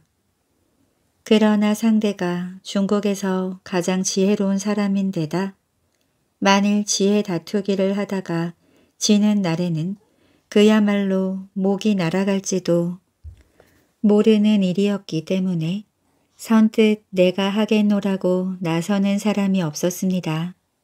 한편 압록강에서 뱃사공 노릇을 하던 사람이 있었습니다. 그는 떡을 아주 좋아해서 사람들이 떡보라고 불렀습니다. 떡보는 그리 영리하지 못할 뿐 아니라 애꾸 눈이었어요. 그런데 이 애꾸는 떡보가 지혜 다투기 할 사람을 구한다는 말을 듣더니 하루 강아지 범 무서운 줄 모른다는 격으로 그저 떡을 많이 먹고 싶은 욕심에 지원을 결심했습니다. 제가 한번 해보겠습니다. 떡보는 부사에게 가서 지혜 다투기를 하고 싶다고 말했습니다. 그런데 부사가 떡보를 딱 보아하니 지혜롭지도 못할 뿐더러 한쪽 눈까지 먼 애꼬눈이었지요. 부사는 허무 맹랑한 소리를 다 듣는다며 입맛을 쩝 다시면서 애꼬는 떡보를 노려보았습니다. 너처럼 무식한 자가 어떻게 큰 나라 사신과 지혜 다투기를 할 수 있겠느냐? 어서 썩 물러가라. 그러나 떡보는 포기하지 않고 자꾸 졸라댔습니다. 사람을 겉모습으로만 판단하면 안 되는 것 아닙니까? 다투기에서 지면 내 목이 날아가지 부사님 목이 날아갑니까? 한 번만 시켜주세요. 부사는 떡보가 자꾸 조르는 통에 하는 수 없이 못 이기는 척 나라에 보고를 했습니다. 드디어 나라에서 답이 왔습니다. 나라를 대표하는 일이니 만일 실수를 하는 날에는 성은 물론이고 이름까지 없애버릴 것이다. 그러니 그런 각오를 가진 사람이면 허락해줘도 좋다. 부사는 덕보에게 나라에서 온 소식을 전했습니다. 네, 물론 그런 생각은 하고 있습니다. 좌우간 한번 시켜만 주세요. 떡보는 자신 있다는 듯이 말했습니다. 그까짓 이름이니 성이니 떡보에게는 한 푼의 가치도 없었지요. 그저 떡을 양껏 먹어보는 것이 평생 소원일 뿐이었습니다. 떡보는 상금을 많이 타면 그 돈으로 떡을 산더미처럼 사다가 먹어야지 생각하고 그저 덮어놓고 하겠다고 덤볐던 것입니다. 이렇게 하여 떡보는 우리나라를 대표하여 지혜 다투기에 나가게 되었습니다. 중국의 사신과 만나기로 한 날이었어요. 떡보는 지혜 다투기를 하기도 전에 배가 고프면 안 되겠다 싶어 찰떡과 인절미로 배를 채웠습니다. 그런 뒤 배를 저어서 사신이 있는 압록강 저편으로 갔습니다. 중국의 사신을 태우고 다시 이쪽으로 돌아오는 길이었지요. 배가 강 가운데까지 왔을 때 중국의 사신이 먼저 입을 뗐습니다. 새가 사공의 눈을 쪼아 먹었구나. 이것은 떡보의 애꼬눈을 흉본 것이었습니다. 통역하는 사람의 말을 듣고 떡보가 생각했습니다. 저 자식이 아니 꼽게 남의 얼굴을 흉보는구나. 떡보는 중국의 사신이 한 말에 마음이 상했지요. 그런데 중국 사신의 얼굴을 보니 입이 조금 삐뚤어진 것 같았습니다. 바람이 사신의 입을 스쳤구나. 떡보가 대꾸했습니다. 이것 봐라. 보잘것없는 애꾸는 사공 녀석이 건방지게도 대꾸를 하는구나. 그럼 이젠 다른 방법으로 한번 해볼 테니 어디 혼 좀 나봐라. 중국의 사신은 이렇게 생각하고 손가락으로 동그라미를 만들어 보였습니다. 이 녀석 봐라. 어느새 내가 오늘 아침에 떡 먹은 것을 알고 둥근 떡이냐고 묻는구나. 떡보는 이렇게 생각하고 손가락으로 네모를 만들어 보였습니다. 둥근 떡이 아니고 네모진 떡을 먹었다는 뜻이었지요. 그러자 중국의 사신이 이번에는 손가락 세 개를 내밀어 보였습니다. 옳지 세 개를 먹었느냐고 묻는구나. 떡보는 이렇게 생각하고 손가락 다섯 개를 내보였습니다. 아니다, 다섯 개를 먹었다. 이번엔 사신이 자신의 기다란 수염을 썩 쓰다듬어 보였습니다. 맛이 있었냐고 묻는 수작이로구나. 떡보는 이렇게 생각하고 배를 한번 슬쩍 만져보였어요. 아주 맛있어서 너무 많이 먹어 배가 이렇게 불렀다. 그랬더니 어찌된 일인지 중국 사신이 넋을 잃은 사람처럼 눈이 동그래져 멍하니 있다가 배를 돌리라고 했습니다. 그래서 압록강 저편까지 배를 저어서 대주자 아무 말 없이 그냥 가버리고 말았어요. 그 뒤 중국의 어떤 높은 관리가 우리나라의 지혜를 다투러 왔던 그 사신에게 지혜 다투기의 문답이 어떤 것이었느냐고 물었습니다. 그랬더니 그 사신이 이렇게 대답했습니다. 아니 아주 당할 수가 없는 사람이었습니다. 처음에 내가 손가락으로 동그라미를 만들어 보이면서 하늘은 이렇게 둥근 것이다. 라고 말했더니 그 뱃사공은 곧 손가락으로 네모를 만들어 보이며 땅은 네모난 것이다 라고 대답하는 것입니다. 그래서 이번엔 손가락 세 개를 내밀어 보이며 삼강을 아느냐 하고 물으니 오륜까지도 안다고 하면서 다섯 손가락을 내밀더라고요. 그래서 마지막으로 수염을 만져 보이며 염제 신농 씨를 아느냐 하고 물었더니 그 뱃사공이 배를 만져 보이며 태호 복희 씨까지도 안다고 대답하는 것입니다. 뱃사공이 이렇게 내 말에 하나하나 앞질러서 지혜롭게 대답하는 것을 보니까 그 사람 뒤에 어떤 사람이 나올지 몰라서 그만 돌아오고 말았습니다. 지혜 다투기에서 이긴 떡보는 평생 소원대로 마음껏 떡을 먹으며 행복하게 살았다고 합니다. 고생을 알게 된 청년 옛날 옛날 어떤 곳에 어렸을 때부터 고생이란 것을 전혀 모르고 자란 청년이 있었습니다. 어느 날 청년은 고생을 맛보겠다는 큰 결심을 하고 콩떡을 보자기에다 싸서 짊어진 채 부모, 아내, 자식과 헤어져 길을 떠났습니다. 산길을 터벅터벅 걸어서 가다 보니 벌써 해가 저물어 사방이 온통 어두컴컴해서 한 발자국도 마음대로 걸을 수가 없었습니다. 근처 아무 집에 나가서 하룻밤을 자고 가야겠다. 청년은 이렇게 생각하고 행여나 사람 사는 집이 있지는 않을까 두리번 숲을 사이로 사방을 살펴보았습니다. 그때 숲속 저편에 불빛이 반짝이는 것이 보였어요.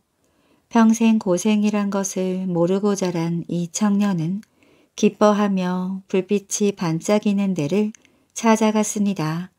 과연 그곳에 가니 사람 사는 집이 있었어요. 청년이 주인을 불렀습니다. 주인장 계십니까? 길 가던 사람이 온데 날이 저물고 잘 곳이 없어 헛간에서라도 하루 저녁을 재워주십사 하고 왔습니다. 그러자 집안에서 반가운 목소리가 들려왔습니다. 어서 들어오십시오. 청년은 남자 목소리가 아니고 여자 목소리인 것으로 보아 아마 집 안주인인가 보다 하고 생각했습니다. 청년이 문을 열고 들어가자 집안에는 나이가 한 30살쯤 되어 보이는 여자가 있었습니다. 여자는 청년이 찾아온 것을 여간 기뻐하지 않았습니다. 평생 고생이란 것을 모르고 자란 청년은 보자기에 넣어두었던 콩떡을 꺼내어 먹으려고 했지요. 그랬더니 이 집 마누라가 콩떡을 도로 보자기에 싸며 말했습니다. 그 떡은 그냥 두셨다가 또 길을 가실 때 잡수세요. 곧 저녁 진지를 차려올게요. 여자는 이렇게 말하고 부엌에 가서 밥을 짓기 시작했습니다. 평생 고생이란 것을 모르고 자란 청년은 조금 이상한 생각이 들었어요. 이런 깊고 깊은 산 속에서 여자 혼자 무서워서 어떻게 살까? 평생 고생이란 것을 모르고 자란 청년은 여자가 어쩐지 무시무시했습니다. 그래서 여자의 거동을 유심히 살펴보았어요. 얼마 뒤 여자는 있는 반찬을 죄다 꺼내어 아주 극진하게 밥상을 차려가지고 들어왔습니다. 평생 고생이란 것을 모르고 자란 청년은 배가 고프던 참이라 아주 맛있게 먹었어요. 여자는 청년이 먹은 밥상을 부엌에 가지고 가서 설거지를 마친 뒤 다시 방으로 돌아왔습니다. 사실 손님께 부탁할 것이 하나 있습니다. 여자가 잠시 뜸을 들이다가 말했습니다. 우리 남편이 어제 호랑이한테 물려서 죽었습니다. 그런데 죽은 남편의 시체를 묻어드리고 싶어도 여자의 몸이라 혼자 묻을 수가 없었습니다. 옆 동네에 가서 사람들에게 부탁을 하려고 해도 호랑이가 들어와서 남편의 시체를 물어갈까봐 가지도 못하고 걱정만 하고 있었습니다. 당신이 오신 것도 무슨 인연이 있어서 오신 게 분명하니 미안하지만 힘을 좀 빌려주세요. 그러더니 여자는 무시무시한 비수를 꺼내 놓으며 말했습니다. 이 집에서 우리 남편의 시체를 지켜주시겠습니까? 아니면 아랫동네에 가서 동네 사람들을 좀 불러다 주시겠습니까? 그러더니 윗방 미닫이를 열었습니다. 청년은 깜짝 놀랐어요. 그곳에는 한쪽으로 기울어진 산의 시체가 놓여 있었습니다. 평생 고생이란 것을 모르고 자란 청년은 고민했지요. 송장을 지키자니 무시무시하고 아랫마을에 가서 동네 사람들을 데려오자니 역시 캄캄한 밤에 호랑이가 나오지 않을까 무서웠습니다. 그저 가장 좋은 것은 아무것도 하지 않고 집에서 자는 것인데 아랫마을에 가지 않겠다고 해도 송장을 지킬 수 없다고 해도 이 집 마누라의 비수가 모가지로 날아올 게 분명했습니다. 평생 고생이란 것을 모르고 자란 청년은 곰곰이 생각했지요. 아랫동네에 가다가 호랑이한테 물려 죽느니 보다 집에서 송장을 지키는 게 낫겠다. 평생 고생이란 것을 모르고 자란 청년은 여자에게 송장을 지키겠다고 했습니다. 그러자 여자는 횃불을 들고 아랫마을로 갔어요. 그런데 호랑이가 지붕을 휙 하고 넘어뛸 때마다 송장이 벌떡 일어섰습니다. 평생 고생이란 것을 모르고 자란 청년은 소리를 지르면서 뒤로 자빠졌지요. 눈을 뜨고 있었지만 정신은 반쯤 나간 상태였습니다. 평생 고생이란 것을 모르고 자란 청년은 얼마 뒤 가까스로 정신을 차렸습니다. 그리고 아까 여자가 아랫동네로 가면서 해준 말이 생각났어요. 여자는 송장이 벌떡 일어났을 때 송장의 왼쪽 다기를 세 번 때리면 다시 누울 것이라고 했습니다. 청년은 여자가 가르쳐준 대로 벌떡 일어서 있는 송장의 왼쪽 다귀를 연거푸 세 번 때렸습니다. 그랬더니 송장이 꽝 하고 넘어졌지요. 청년은 그제야 안심을 하고 땀을 닦으면서 앉아 있었습니다. 그때 문 밖에서 호랑이가 또 아웅하며 지붕을 뛰어넘었습니다. 또다시 송장이 벌떡 일어섰어요. 청년은 자지러지게 놀라 정신없이 송장의 왼쪽 다귀를 두 서너 번 찰싹찰싹 때렸습니다. 그러자 송장이 꽝 하고 다시 넘어졌습니다. 그런데 송장이 넘어질 때 송장의 손이 평생 고생이란 것을 모르고 자란 청년의 손을 스쳤어요. 청년은 너무 놀란 나머지 그만 정신을 잃고 말았습니다. 청년은 이렇게 얼마 동안을 누워 있다가 눈을 번쩍 떴습니다. 그런데 아무리 일어나려고 해도 무거운 게 허리를 내리 누르는 동에 일어날 수가 없었습니다. 허리가 상한 것이라고 생각하면서 서너 번 일어나려고 애써 보았지만 끝내 일어나지 못했습니다. 그런데 허리가 아프지 않은 것으로 보아 다친 데는 없었습니다. 무엇이 허리를 내리 누르고 있나 보다. 청년은 손을 뻗쳐서 허리 쪽을 만져보았어요. 그런데 손에 잡힌 것은 송장의 머리털이었습니다. 에이 구머니. 청년은 너무 깜짝 놀라서 부엌문을 차고 들어가 아궁이 속에 꼭꼭 숨었습니다. 잠시 뒤 여자가 아래 동네에 가서 동네 사람들을 데리고 돌아왔어요. 그런데 집안에서 송장을 지키고 있어야 할 총각이 보이지 않았습니다. 여자는 이상하게 생각하면서 팥죽을 쑤려고 부엌에 갔습니다. 그리고 아궁이에 있는 재를 끄집어내려고 고무래를 쑥 넣었다가 당기자 재는 나오지 않고 머리털이 허연 할아버지가 벌벌 떨면서 엉금엉금 기어나왔습니다. 호랑이도 무서워하지 않던 이 여자는 난데없이 나타난 할아버지 때문에 깜짝 놀랐습니다. 여자는 고무래를 냅다 팽개쳤지요. 그 바람에 부엌에 있던 그릇들이 와장창 깨지고 말았습니다. 머리가 허연 이 할아버지는 다름 아닌 평생 고생이란 것을 모르고 자란 바로 그 청년이었어요. 여자의 집에서 송장을 지키며 너무 여러 번 놀란 탓에 이렇게 머리털이 허옇게 생 것이었습니다. 총각은 다시 집으로 돌아갔습니다. 그러나 누구 한 사람 총각을 반겨 맞아주는 사람이 없었어요. 뿐만 아니라 총각이 집에 들어가려고 하자 총각의 어린 자식들이 마구 때리며 내쫓았습니다. 영감태기가 남의 집에 함부로 들어오려고 하다니 어서 나가요. 아내 역시 남편을 알아보지 못하고 영감님은 누구시냐며 물었습니다. 참으로 기가 찰 노릇이었지요. 한 달이 넘도록 집을 나갔다가 고생하고 돌아온 남편을 알아보기는커녕 영감이라고 하다니요. 총각은 어안이 벙벙해서 왜 가족들이 날더러 영감 영감하는지 궁금해서 거울을 들여다 보았습니다. 그런데 이게 웬일인가요?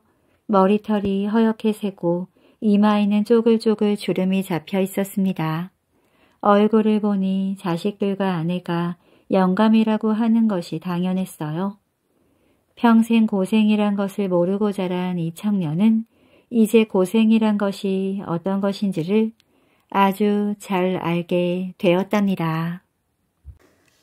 호랑이와 의원 아득히 멀고 먼 옛날 시흥 땅에 유씨성을 가진 큰 부자가 살았습니다.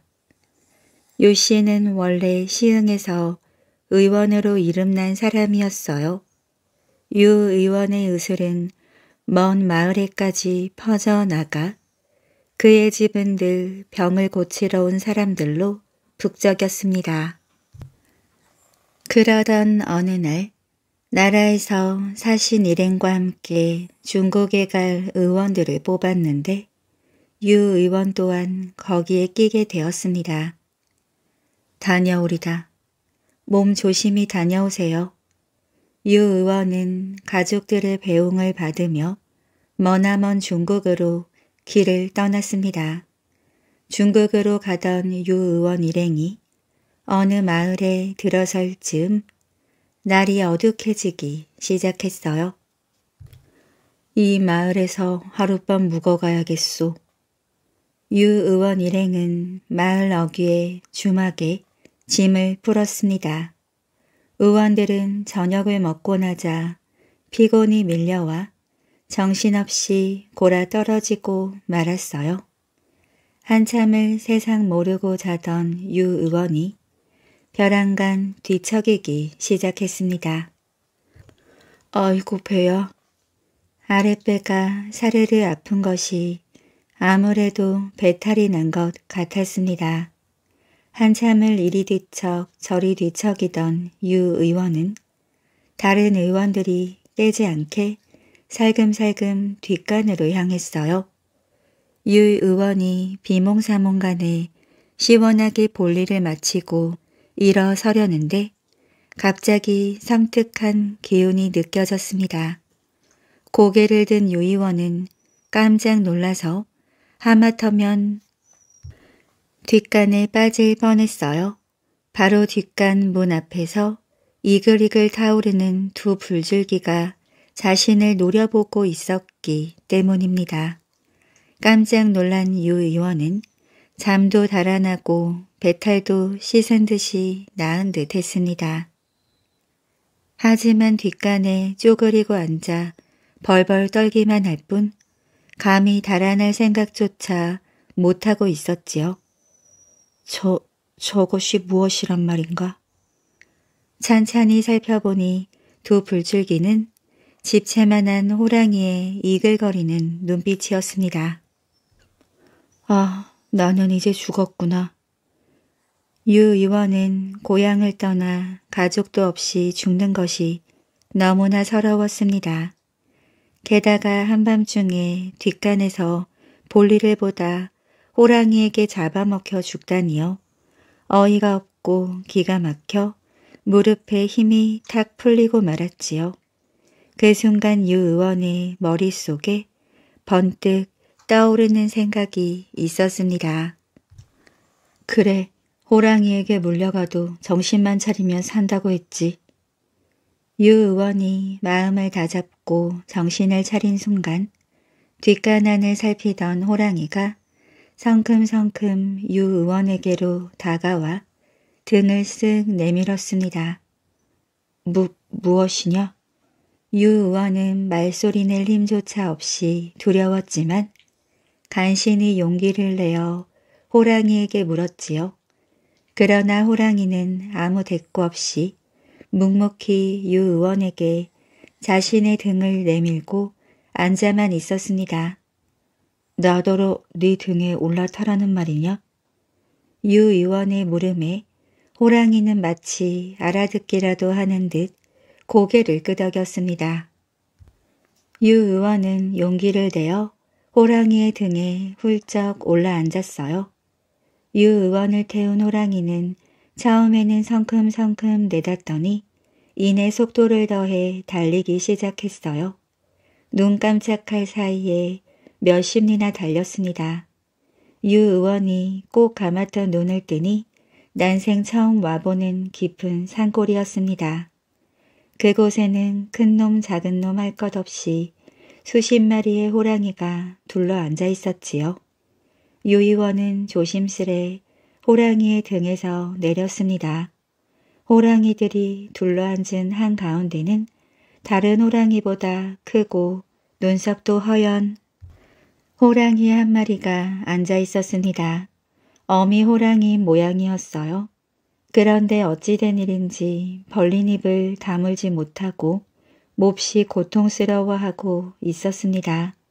유 의원이 궁금히 여기며 자신을 태우고 온 호랑이를 돌아보자 그가 몸짓으로 늙은 어미 호랑이를 가리키는 것이 마치 그 입안을 들여다봐달라는 듯이 보였습니다. 유 의원은 어미 호랑이의 입안을 조심스레 살펴보았지요. 어미 호랑이의 입안에는 새색시가 시집 갈 때 꽂는 비녀가 박혀 있었습니다. 아마도 새색시를 잡아먹다가 그리 된 듯했지요. 요의원은 곰곰이 생각에 잠겼습니다. 비녀를 빼주긴 해야겠는데 그러다가 비녀를 뺄 때 자신의 손이 호랑이 밥이 되지 않을까 두려웠던 것입니다. 걱정스러운 마음에 어미 호랑이의 눈을 바라보니 호랑이는 금방이라도 눈물이 떨어질 듯한 눈으로 고개를 가로저었습니다. 마치 그런 걱정은 하지 말라는 듯 보였지요. 유의원은 목숨부터 살리고 보자는 생각에 치료를 해주기로 마음먹었습니다. 유 의원은 호랑이의 입에 손을 넣어 조심조심 비녀를 빼내고 늘 가지고 다니던 약으로 입안의 상처를 치료해 주었어요. 그러고는 엄한 목소리로 호랑이를 꼬지졌습니다. 아무리 짐승이기로써니 이제 막 시집간 색시를 잡아먹다니 그런 법이 어디 있느냐. 앞으로는 그런 못된 짓을 절대로 하지 말거라. 입안의 상처는 새벽까지 내버려 두면 씻은 듯이 나을 것이다. 유 의원의 이야기에 호랑이들은 모두 고개를 숙여 고마움의 인사를 했습니다. 유 의원은 자신을 태워온 호랑이에게 말했어요. 사람을 이 먼 곳까지 데리고 왔으면 당연히 원래 자리로 데려다 줘야 도리가 아니겠느냐. 호랑이는 처음 유의원을 태우고 왔을 때처럼 선뜻 자신의 등을 내밀었습니다. 유의원이 냉큼 호랑이의 등에 올라타니 호랑이는 올 때와 마찬가지로 나는 듯이 달렸습니다. 호랑이 등에 엎여 얼마 동안을 달려오자 다시 유의원이 묵었던 주막에 도착했습니다. 아직도 깜깜한 밤중이라 유의원과 함께 묵고 있는 일행은 유의원이 사라진 것도 모른 채 쿨쿨 자고 있었지요. 유의원이 호랑이 등에서 내려 막 방으로 올라서려는 순간이었습니다. 벼랑간 호랑이가 크게 울더니 유의원의 신발 뒤꿈치를 물어 뜯는 거예요. 까무러칠 듯이 놀란 유의원은 죽을 힘을 다해 발을 버둥거리며 소리쳤습니다. 은혜도 모르는 놈 같으니 어찌 이럴 수가 있단 말이냐. 유의원은 발을 버둥거리며 호랑이를 물리칠 무기를 찾았습니다. 그러나 주위에는 가느다란 나뭇가지 하나 굴러다니지 않았어요. 유의원이 허둥대고 있는 사이 호랑이는 다시 입을 쩍 벌리며 유 의원에게 달려들었습니다. 유 의원은 닥치는 대로 주먹을 휘둘렀으나 호랑이는 꿈쩍도 않고 더욱더 억세게 달려들었습니다. 나는 이제 죽었구나. 유의원은 넋을 잃고 주저앉고 말았어요. 그 순간 요의원의 눈에 수박만한 돌멩이가 보였습니다. 옳다, 저거다. 요의원은 얼른 그 돌멩이를 집어들고 호랑이에게 겁을 주었어요. 그러자 금방이라도 잡아먹을 듯이 달려들던 호랑이가 거짓말처럼 슬금슬금 피하는 것입니다. 요의원은 있는 힘을 다해 돌멩이를 호랑이에게 집어 던졌습니다. 돌멩이가 유 의원의 손에서 떠나자마자 저만치 물러갔던 호랑이는 또다시 무서운 기세로 유 의원에게 달려들었습니다. 유 의원은 얼른 자신이 던진 돌멩이를 다시 주워들고 호랑이를 위협했지요. 그러자 호랑이는 또다시 슬금슬금 뒷걸음질을 쳤습니다. 이렇게 덤비고 밀리기를 밤새 하다가 유 의원은 돌멩이를 들고 방 안까지 들어갔습니다. 지칠 줄 모르고 달려들던 호랑이는 유 의원이 방에 들어가자마자 눈 깜짝할 사이에 어디론가 사라졌어요. 유 의원은 기진맥진하여 저도 모르게 쓰러져 잠이 들고 말았습니다. 여복의 유 의원 그만 일어나게 문 밖에서 다른 의원들이 부르는 소리에 유 의원은 부스스 잠에서 깼습니다. 지난밤 일이 꿈인지 생시인지 알 수 없었어요. 그러나 온몸이 뻐근하고 천근같이 무거운 것이 호랑이와 싸운 게 마냥 꿈속의 일만은 아닌 것 같았습니다. 순간 유 의원은 자신의 눈을 의심하지 않을 수 없었습니다. 자신의 베개 옆에 수박만한 금덩어리 하나가 놓여 있는 것이 아니겠어요? 가만히 들여다보니 지난밤 호랑이를 쫓을 때 휘두르다 갖고 들어온 돌멩이가 틀림없었습니다. 그렇구나. 호랑이가 이 돌멩이를 내게 주기 위해 지난밤 그 난리를 일으킨 게로구나. 금덩어리는 호랑이가 요 의원에게 은혜를 갚기 위해 가져다 준 어미의 치료비였던 것입니다. 유 의원은 그 뒤로 금덩어리를 팔아 큰 부자가 되어 오래오래 행복하게 살았다고 합니다. 구렁이 서방님 옛날 어느 마을에 자식 없는 늙은 부부가 살고 있었습니다. 부부는 이웃집에서 흘러나오는 아이들 웃음소리를 들을 때마다 한숨을 쉬며 부러워했어요. 우리에게도 자식이 하나 있었으면. 이런 간절한 마음이 하늘에 닿았는지 할머니가 늦은 나이에 아기를 갖게 되었습니다. 그런데 열 달 뒤 할머니가 낳은 것은 사람이 아니라 징그러운 고렁이었습니다. 부부는 크게 실망하고 말았지요. 그럼 그렇지. 이제까지 없던 자식 복이 갑자기 생길 리가 있나. 할머니는 구렁이를 물끄러미 바라보다가 뒤뜰 굴뚝 밑에 놓았습니다. 그리고 아무도 보지 못하도록 삿갓으로 덮었지요. 구렁아 미안하다. 아무리 내가 나았다고 하지만 징그러워서 도저히 방 안에 둘 수가 없구나. 그래도 열 달을 품어 낳은 자식인지라 마음이 편치만은 않았습니다. 할머니는 안타까운 마음에 눈물을 닦았지요. 할머니가 아기를 낳았다는 소식에 이웃집 세 딸이 찾아왔습니다. 할머니, 아기는 어디 있나요? 뒤뜰 삿갓 아래 있단다. 할머니가 주저하며 말했습니다. 먼저 첫째 딸이 삿갓을 들쳤어요. 그 안에 구렁이가 또리를 틀고 있었습니다. 아, 징그러워. 아기가 아닌 구렁이를 낳았잖아. 첫째 딸은 구렁이에게 침을 탁 뱉고 물러났습니다. 언니 뒤에서 넘겨다 본 둘째 딸도 얼굴을 찡그리기는 마찬가지였지요. 어, 징그러워. 둘째 딸은 작대기로 구렁이 눈을 찔렀습니다. 구렁이는 너무 아파서 눈물을 뚝뚝 흘리고는 또리 속으로 고개를 파묻었어요. 그때 어디선가 다정한 목소리가 들려왔습니다. 어머나 할머니가 구렁덩덩 신선비를 낳으셨네. 구렁이가 고개를 들어 바라보니 셋째 딸이 따뜻한 눈길을 보내고 있었습니다. 셋째 딸은 구렁이의 눈물을 닦아주고 삿갓을 원래대로 덮으며 말했어요. 울지 마세요. 구렁덩덩 신선비님. 씩씩한 남자가 눈물을 보이면 쓰나요?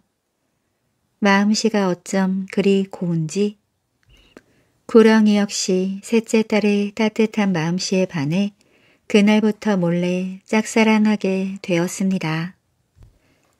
세월이 흘러 어느덧 구렁이가 장가갈 나이가 되었습니다. 할머니는 가슴이 꽉 막힌 듯 답답했지요. 세상 어디에 구렁이 신부 자리를 반길 사람이 있을까요? 하는 수 없이 이웃집 세 딸을 찾게 되었습니다. 우리 아들이 장가를 가고 싶어 한다오. 아가씨들도 결혼할 나이가 되었으니 우리 집 아이를 남편으로 맞는 것은 어떻소? 별말을 다 듣겠네. 어떻게 사람이 구렁이와 결혼을 해요? 맞아요. 징그러운 구렁이와 결혼하느니 차라리 평생 혼자 살고 말겠어요. 첫째 딸과 둘째 딸은 기겁을 하며 방으로 들어가 버렸습니다. 할머니는 풀이 죽어 고개를 숙이고 바닥에 주저앉았지요. 할머니, 제가 시집을 가겠어요. 셋째 딸의 말에 할머니는 손을 덥석 잡았습니다. 고맙소, 아가씨. 안 그래도 우리 아이가 어려서부터 아가씨에게 마음을 두고 있었다오.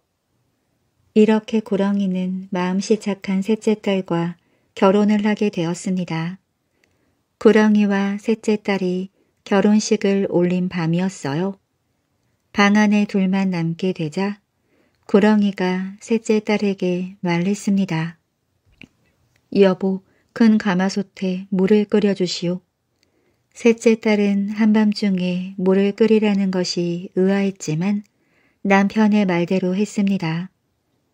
그런데 구렁이가 펄펄 끓는 물속에 들어가 목욕을 하자 허물이 벗겨지면서 환한 새 신랑의 모습이 드러났습니다. 셋째 딸은 깜짝 놀라면서도 그 멋진 모습에 반하게 되었어요. 다음 날 아침 잠에서 깨니 남편은 다시 구렁이로 돌아가 있었습니다. 이상하다. 내가 꿈을 꾼 것일까? 고개를 갸웃거리는 셋째 딸에게 구렁덩덩 신선비가 말했습니다. 나는 밤에만 허물을 벗고 사람으로 돌아올 수 있소. 아침이면 다시 구렁이로 변한다오. 그러나 걱정을 거두구려 곧 온전한 사람이 될 테니 그때까지 조금만 기다려 주시오. 얼마 안가 구렁덩덩 신선비는 허물을 벗고 온전한 사람이 되었습니다. 셋째 딸은 온 세상을 다 가진 듯 행복한 나날을 보냈지요. 어느 날 구렁덩덩 신선비가 셋째 딸에게 허물을 건네며 말했습니다. 과거를 지르고 오겠소. 그동안 허물을 잘 보관해 주시오. 남에게 보이거나 잃어버리면 우리는 다시 만날 수 없소. 서방님 걱정 마시고 과거의 급제에 돌아오세요. 셋째 딸은 허물을 고이 접어 저고리 안에 넣어두었습니다. 구랑당던 신선비가 떠난 며칠 뒤였어요. 언니들이 셋째 딸의 집에 놀러왔다가 우연히 저고리 속 허물을 보게 되었습니다. 이게 뭐야? 구렁이 허물 아니니? 이런 것은 왜 가지고 있는 거야? 언니들은 허물을 빼앗아 화로에 던졌습니다. 셋째 딸이 놀라 손을 뻗었지만 이미 늦고 말았어요. 곧 집안 가득 허물 타는 냄새가 퍼졌습니다. 그 냄새는 멀리 멀리 퍼져 구렁덩덩 신선비가 있는 한양까지 닿았지요. 이 냄새는 내 허물 타는 냄새 아닌가? 각시가 나를 버린 게로구나. 구렁덩덩 신선비는 슬피 울며 그 길로 어디론가 떠나 버렸습니다. 한편 셋째 딸은 아무리 기다려도 남편에게서 소식이 없자 직접 찾아 나서기로 했어요. 정처 없이 걷고 또 걷던 셋째 딸은 강가에서 구더기를 먹고 있는 까마귀를 만났습니다. 까마귀야, 구렁덩덩 신선비님이 어디로 가셨는지 아니? 글쎄, 이 구더기를 다 씻어주면 가르쳐 줄게. 셋째 딸은 구더기가 징그러웠지만 까마귀의 말을 들어주었습니다. 남편을 찾을 수 있다면 그보다 더한 것도 할 수 있었지요. 그러자 까마귀가 말했습니다. 이 산 너머 큰 바위를 지나 꼬불꼬불한 길로 지나갔단다. 셋째 딸은 까마귀가 가르쳐준 대로 한참을 걸었습니다. 그러다가 칡을 캐먹고 있는 멧돼지를 만났어요. 멧돼지야, 우리 구렁덩덩 신선비님이 어디로 가셨는지 아니? 글쎄, 이 산에 있는 칡뿌리를 다 캐주면 가르쳐주지. 셋째 딸이 칡을 다 캐자 멧돼지가 말했습니다. 저 고개 넘어 수수밭을 건너 논두렁을 지나갔어. 한참을 가니 멧돼지가 말한 수수밭과 논두렁이 보였습니다. 거기서 웬 노인이 논을 갈고 있었어요. 할아버지, 우리 구렁덩덩 신선비님이 어디로 갔는지 아세요? 이 논을 다 갈면 가르쳐 주지. 셋째 딸이 논을 다 갈자 할아버지가 말했습니다. 저 언덕 너머 옹달샘에 있는 은바가지를 타고 가더군. 셋째 딸은 천근 같은 발걸음을 옮겨 옹달샘에 다다랐습니다. 옹달샘에는 과연 은바가지가 하나 있었어요. 셋째 딸이 올라타자 은바가지는 빙글빙글 돌며 물속으로 가라앉았습니다. 셋째 딸은 그만 정신을 잃고 말았어요. 셋째 딸이 정신을 차리고 보니 누렇게 익어가는 들판이 보였습니다. 한 여자아이가 참새를 쫓고 있었어요. 우리 구렁덩덩 신선비님이 드실 쌀이다. 썩 물러가라. 셋째 딸은 귀가 번쩍 뜨였습니다. 예, 너 지금 뭐라고 했니? 누가 먹을 쌀이라고? 저 언덕 너머 커다란 기와집에 사는 구렁덩덩 신선비님이 드실 쌀이라고 했는데요. 셋째 딸은 마지막 힘을 짜내 기와집에 도착했습니다. 셋째 딸이 문을 두드리자 하인이 나왔어요. 누구시오? 쌀 한 대 얻으러 온 나그네요. 하인은 곧 쌀 한 대를 가지고 나왔습니다. 셋째 딸은 미리 준비한 밑없는 자루를 벌렸어요. 쌀알은 바닥으로 좌르르 쏟아져 내렸습니다. 아유 이를 어째? 셋째 딸은 쌀알을 하날 줍기 시작했지요. 그러는 사이 해는 뉘엿뉘엿 기울어 갔습니다. 이미 해가 저물었는데 하룻밤 묵어갈 수 있을까요? 이 집에는 남는 방이 없소. 마루밑이라도 좋으면 묵고 가시오.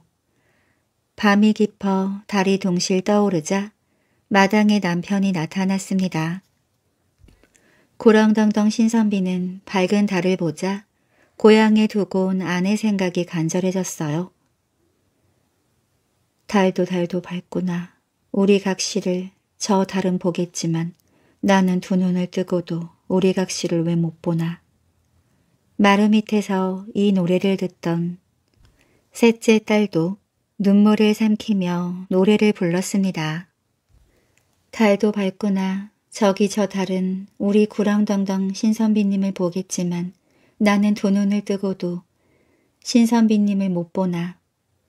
구랑덩덩 신선비는 노랫소리에 깜짝 놀라 마루 밑을 보았습니다. 그곳에는 꿈에도 잊지 못한 아내가 있었지요. 둘은 얼싸안고 눈물을 흘렸습니다. 셋째 딸은 집을 떠나 이곳까지 오게 된 이야기를 풀어놓았습니다.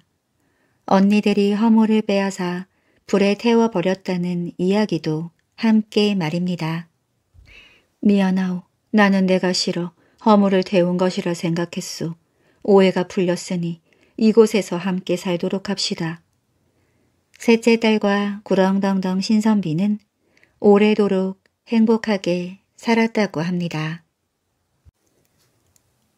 백일홍 이야기 어느 바닷가 마을에 머리가 새 딸린 이모기가 수시로 나타나 뱃사람을 잡아먹는다는 이야기가 있습니다.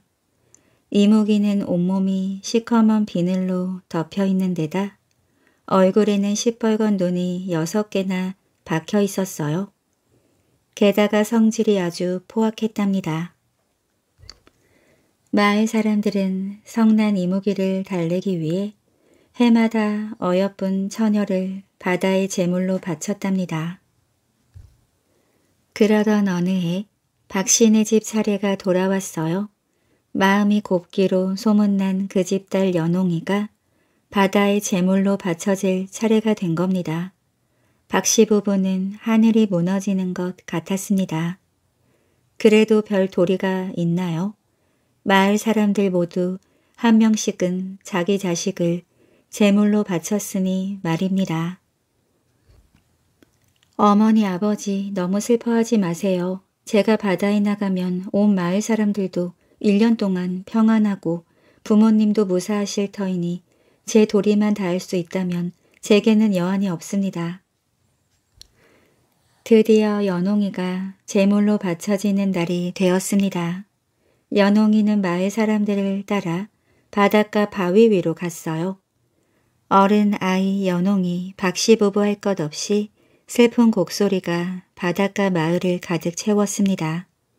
그때였어요. 저 멀리 바다 쪽에서 찬란한 빛이 비쳐 오는 겁니다. 마을 사람들은 고개를 들고 바다 쪽을 바라보았어요. 황금빛으로 반짝이는 배가 바닷가를 향해 다가왔지요. 배에는 키가 크고 늠름한 도련님이 타고 있었습니다. 허리에는 큰 칼을 차고서 말이에요. 도련님은 배에서 훌쩍 뛰어내리며 무슨 일이 났습니까? 왜 다들 바닷가에 나와 구슬픈 곡소리를 하고 있소? 하자 마을 촌장이 이무기에 얽힌 그간의 사정을 설명했습니다. 도련님은 골똘히 생각하더니 아가씨를 대신해 자신이 바닷가에 나가 괴물과 싸워 보겠다고 하는 겁니다. 덕분에 목숨을 구하게 된 연홍이는 눈물 맺힌 눈으로 도련님을 바라보며 감사합니다. 당신이 돌아올 때까지 저는 이 자리에서 기다리겠어요. 하고 말했습니다. 도련님은 연홍이의 눈물을 닦아주며 낭자는 걱정 말고 기다리시오. 백일 안에 꼭 돌아와 당신을 다시 만나겠소. 만약 내가 괴물과 싸워서 이기면 지금처럼 하얀 돛을 달고 올 것이고 만약 죽는다면 붉은 돛을 달고 올 것이오. 슬픔일랑 바람 속에 날리고 지금 얼굴만 기억해 주시오. 라고 말한 뒤 다시 배에 올라타서 이무기를 잡으러 떠났습니다. 그날 이후 연홍이는 날마다 바위 위에 서서 바다만 쳐다보았어요. 박씨 부부는 연홍이가 혹여나 쓰러질까 늘 노심초사였지만 도련님을 기다리겠다는 연홍이의 마음을 꺾을 수는 없었지요. 도련님 꼭 하얀 돛을 달고 돌아오셔야 합니다.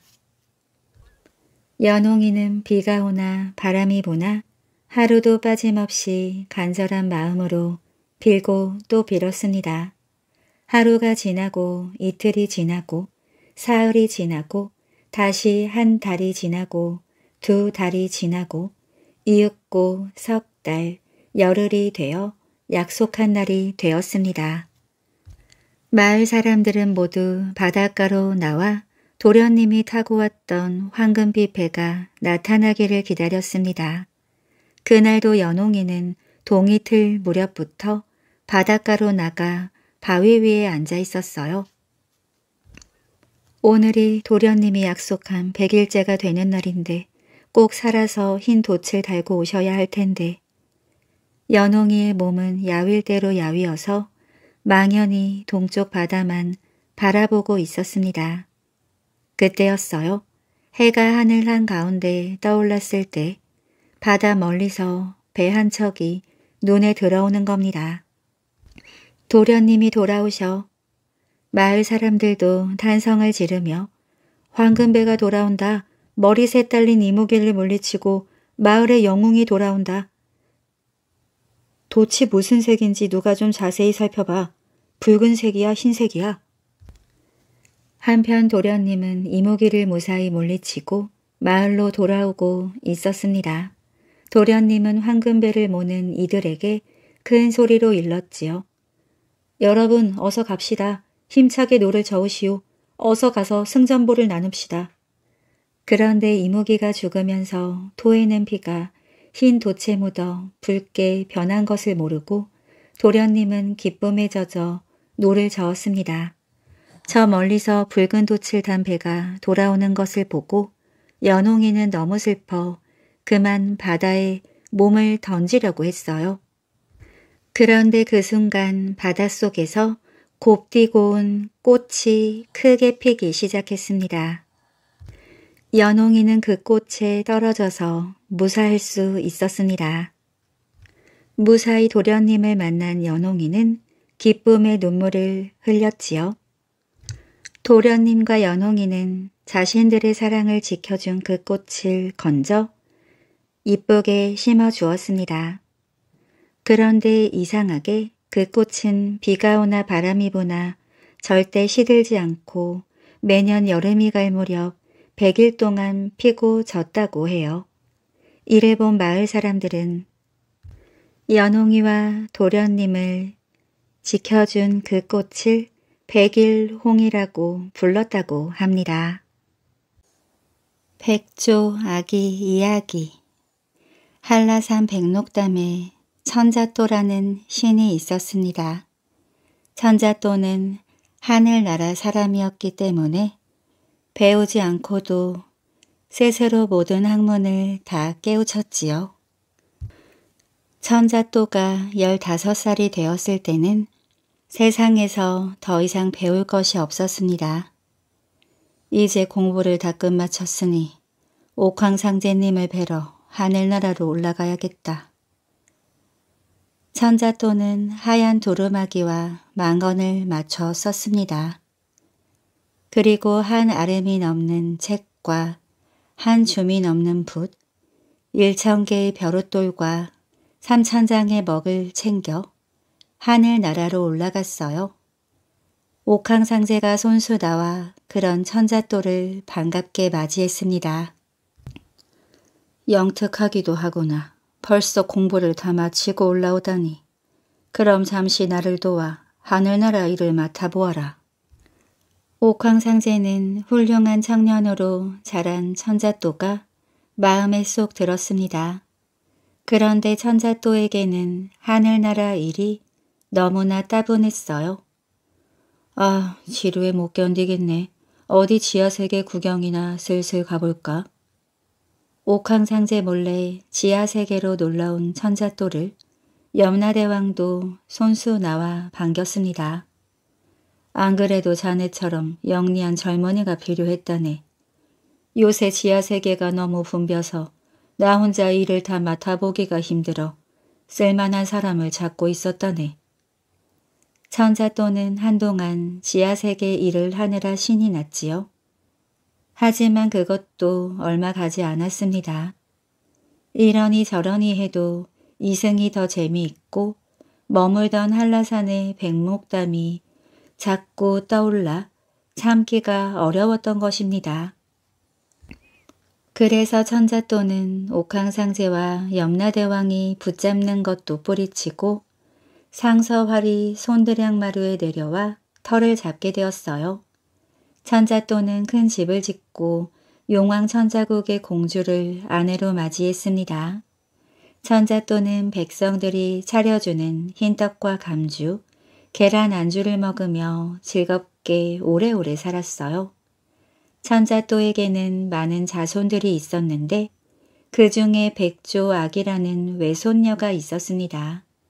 서울 남산에서 살던 백조 아기는 일곱 살이 되자 부모 눈밖에 나서 집에서 쫓겨나서 용왕 천자국 외갓집으로 가게 되었어요. 불쌍한 우리 백조아기 왔느냐. 용궁의 가족들은 모두 백조아기를 반겨주었습니다. 부모에게 쫓겨난 백조아기를 불쌍하게 여긴 일곱 명의 외삼촌들은 자기들이 알고 있는 신비한 도수를 백조 아기에게 가르쳤어요. 외삼촌들은 청가루의 청주머니, 백가루의 백주머니, 젓가루의 적주머니, 황가루의 확주머니를 선물로 넣어 백조아기에게 선물로 주었지요. 여드레째 되는 날 백조아기는 용궁을 떠나 서울로 돌아왔습니다. 아버지 어머니 이제 그만 저를 용서해 주시고 노여움을 푸세요. 백조아기는 집에 돌아와서 무릎을 꿇고 부모님께 간곡하게 빌었어요. 그러나 부모님들은 화를 풀지 않고 백조아기를 다시 쫓아냈습니다. 백조아기는 눈물을 흘리며 부모님께 작별 인사를 하고 유모를 납세워 집을 떠났습니다. 어디로 갈까? 제주 한라산에 외할아버지가 살고 계신다 했지 외할아버지라면 날 받아주실지도 몰라. 백조아기는 언젠가 들었던 외할아버지를 떠올리고 제주도를 향해 남쪽으로 남쪽으로 길을 떠났습니다. 백조아기와 유모가 몇 날 며칠을 걷고 걸어서 전라도 장성 갈제까지 다다랐을 때입니다.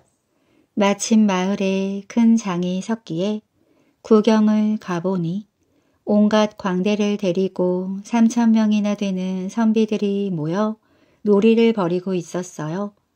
백조아기는 유모에게 부탁했습니다.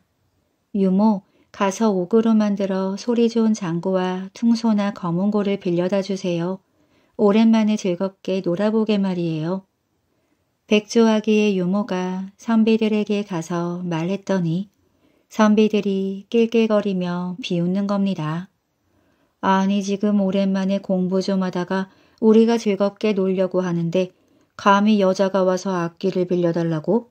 어림도 없는 소리 하지 말고 썩 물러가거라. 유모의 말을 전해 들은 백조아기는 생각할수록 선비들의 행동이 괘씸했습니다. 그래서 청주머니에 청새 가루를 꺼내 푸 하고 선비들을 향해 힘껏 불었지요. 그러자 3천 명이나 되는 선비들이 갑자기 얼굴을 감싸쥐고 이리 구르고 저리 뒹굴었어요. 아이고 내 눈이 보이지 않는다. 내 귀가 들리지 않는다. 선비들 가운데 영리한 선비 한 사람이 재빨리 달려와 백조아기 앞에 넙죽 엎드렸습니다.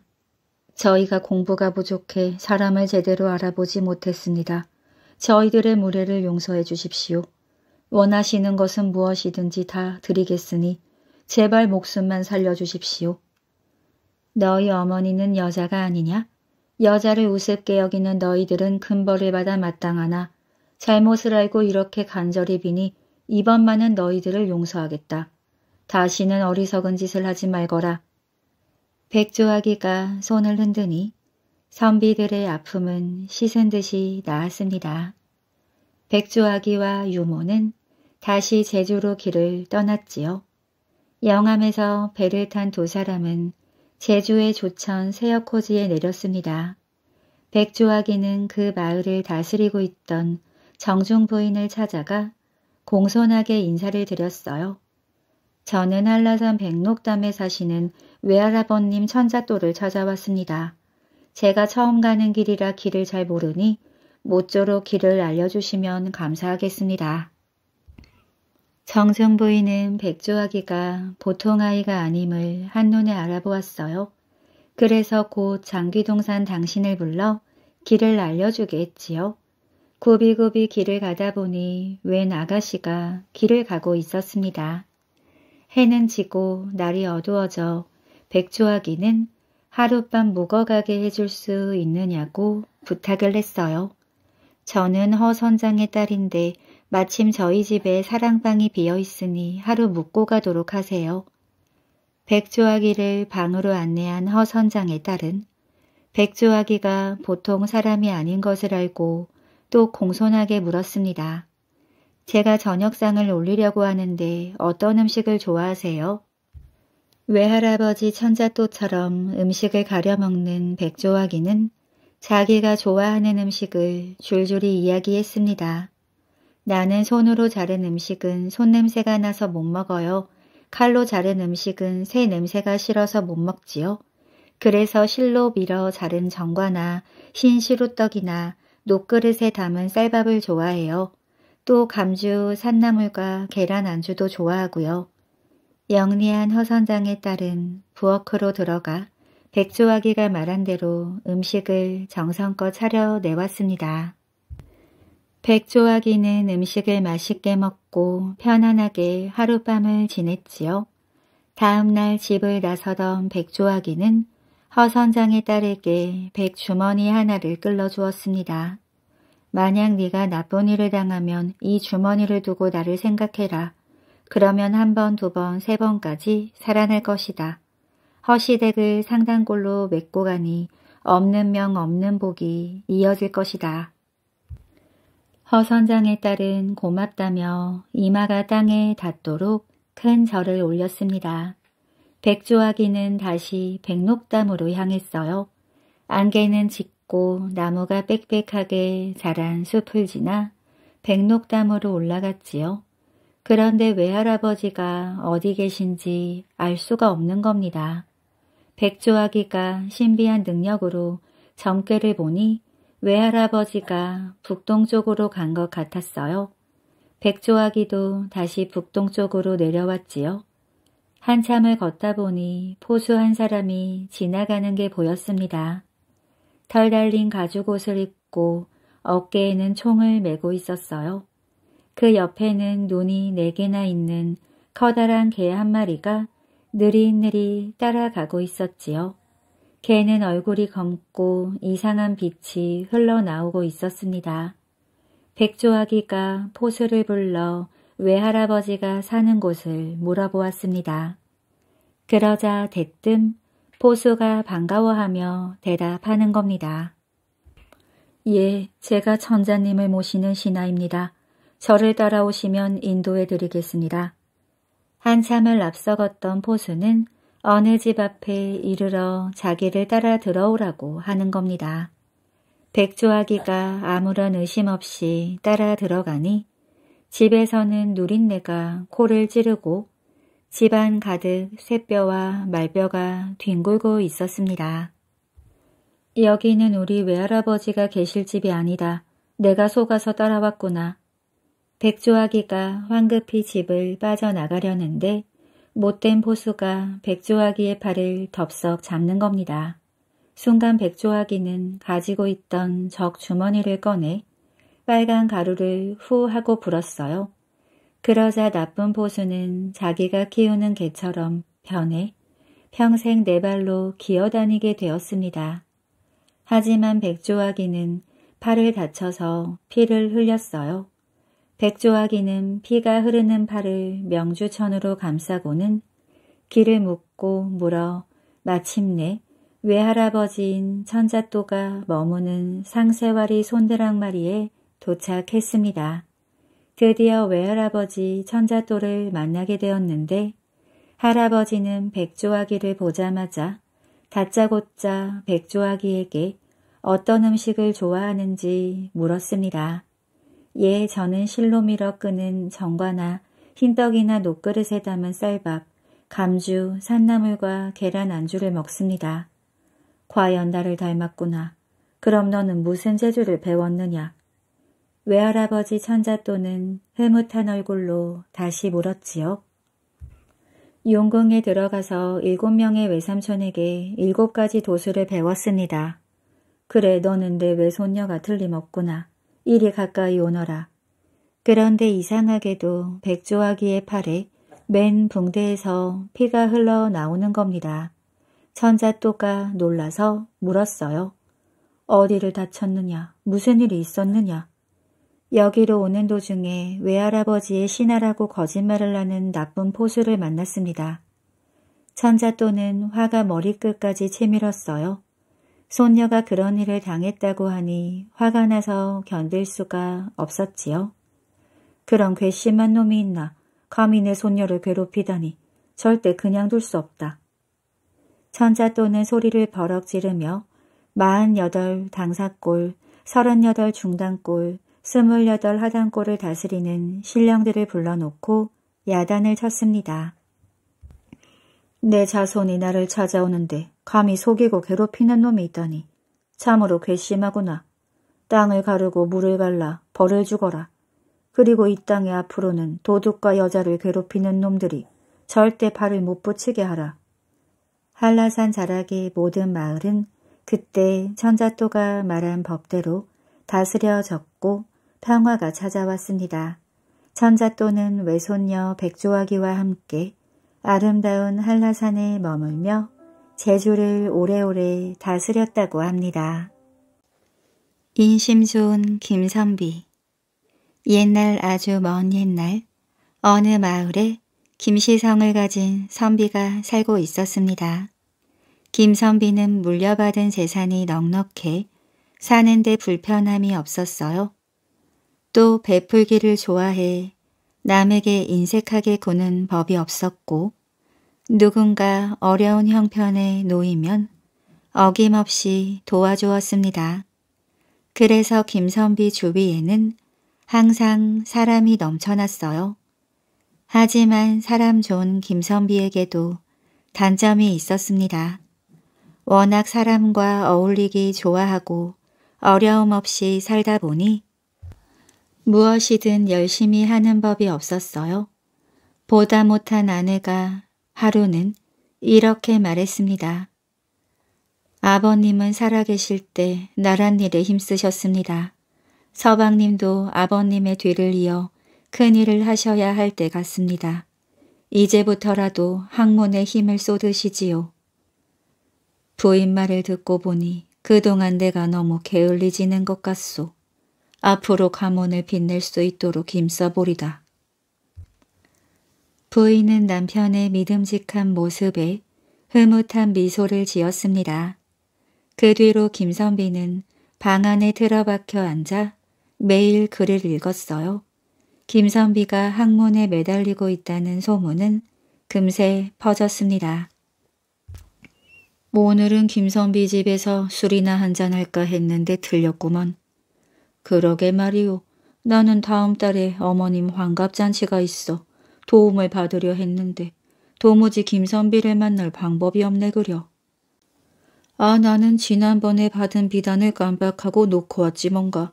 그때 가지고 왔어야 했는데. 김선비에게 이런저런 도움을 받던 친구들의 아쉬움은 커져만 갔습니다. 김선비 역시 친구들 생각에 엉덩이가 들썩들썩했지요. 하지만 남자가 한 번 뱉은 말을 주워 담을 수도 없는 노릇이었습니다. 날이 갈수록 김선비는 답답해졌어요. 책을 보면서도 다른 생각을 하는 날이 많았습니다. 그런 김선비를 보는 부인의 한숨도 깊어만 갔습니다. 저렇게 사람을 좋아하시니 어쩌면 좋단 말인고. 결국 김선비의 결심은 무너졌습니다. 김선비 집에는 다시 친구들의 발길이 이어졌지요. 어느 해 큰 흉년이 들었습니다. 곡식이 가득했던 김선비네 곡간도 비어가기 시작했어요. 하지만 김선비의 마음과 씀씀이는 변함이 없었습니다. 그러다 보니 얼마 지나지 않아 그 많던 재산이 바닥났습니다. 김선비는 친구들을 찾아가 도움을 구했지만 돌아온 것은 차가운 대답뿐이었습니다. 지금 온 나라가 흉년 아닌가? 나라고 남에게 퍼줄 곡식이 있겠는가? 설마 지난날 내게 베푼 것을 돌려받으려고 온 것인가? 그때 자네는 분명히 그냥 주는 거라고 했지. 빌려준다고 하지는 않았네. 김선비는 친구들의 태도에 크게 실망했습니다. 그래, 친구들은 나를 좋아한 것이 아니라 내 돈을 좋아한 것이었구나. 그런 줄도 모르고 그들과 어울리는데 온 시간을 쏟았더니 김선비는 마음에 큰 상처를 입었습니다. 그래서 모든 것을 훌훌 잊기 위해 깊은 산으로 들어갔지요. 산속으로 들어간 김선비는 그만 길을 잃고 말았습니다. 한참을 같은 자리에서 맴돌자 겁이 덜컥 났어요. 사방은 칠흑같이 어둡고 몸도 마음도 지칠 대로 지친 터라 한 발짝도 움직일 수 없었습니다. 그때 멀리서 희미한 불빛이 반짝이는 게 보였어요. 김선비는 불빛을 따라 무거운 발걸음을 옮겼습니다. 그런데 가까이 가서 보니 불빛은 하나가 아니었습니다. 깊은 산 속에 마을이 있었던 것이에요. 이런 곳에 마을이 있다니. 김선비는 마을의 한 집 앞에 섰습니다. 계십니까? 김선비의 목소리에 문을 열어준 사람들은 머리가 하얗게 센 늙은 부부였습니다. 이 산골을 어찌 알고 찾아왔소? 산 속에서 길을 잃고 헤매던 중에 불빛을 보고 찾아왔습니다. 차림새를 보니 고생을 많이 한 모양인데 어서 들어와 밥이라도 한 술 드시오. 김선비는 부부의 친절에 감사하며 안으로 들어갔습니다. 방 안은 볼품 없었지만 단정하고 따뜻했습니다. 김선비는 금세 마음이 편안해졌어요. 김선비는 할머니가 차려준 밥을 맛있게 비웠습니다. 처음 보는 자신에게 친절을 베푼 부부에게 깊은 감동을 받았습니다. 어디 사는 누군지도 모르는 저에게 이런 은혜를 베풀어 주시니 어찌 감사를 드려야 할지 모르겠습니다. 보아하니 갈 데가 없는 것 같은데 여기서 지내면 어떻겠소? 김선비는 그 말을 선뜻 받아들였습니다. 산속 마을은 온통 노인들 뿐인 곳이었어요. 마을에는 젊은이의 손길이 필요한 곳이 한두 군데가 아니었습니다. 김선비는 두 팔을 걷어붙이고 열심히 일했어요. 태어나 처음 해보는 일 때문에 끙끙 앓는 날도 있었습니다. 하지만 돈이 아닌 자신의 몸으로 남을 도울 수 있다는 사실에 하루하루가 즐거웠습니다. 김선비가 산속 마을에 들어온 지도 어느덧 몇 해가 지났습니다. 그동안 가족같이 지내던 노인들 대부분이 세상을 떠났어요. 그때마다 김선비는 자신의 부모님을 모시는 것처럼 정성껏 장례를 치렀습니다.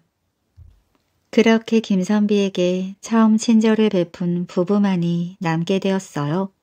어느 날 부부가 김선비를 불렀습니다. 이제 하늘이 우리를 부를 날이 머지 않았다오. 우리마저 전하고 나면 이 깊은 산 속에 혼자 남지 않겠소. 이제 그만 이곳을 떠나 살 길을 찾아보는 게 좋을 것 같구려. 김선비는 부부의 마지막까지 지키겠다며 고집을 부렸지만 부부의 뜻을 꺾을 수 없었습니다. 마을을 떠나는 날 부부는 김선비에게 작은 항아리 하나를 건네주었습니다. 그동안 우리를 정성껏 돌봐주어서 고맙소. 모두의 마음을 담아 선물을 준비했으니 부디 이 항아리를 기쁜 마음으로 받아주시오. 고맙습니다. 김선비는 항아리를 소중히 품고 산에서 내려왔습니다. 산에서 내려온 김선비는 작은 주막에 들러 하룻밤을 묵게 되었어요. 잠들기 전 항아리 속에 몇 푼 안 되는 노잣돈을 집어넣었습니다.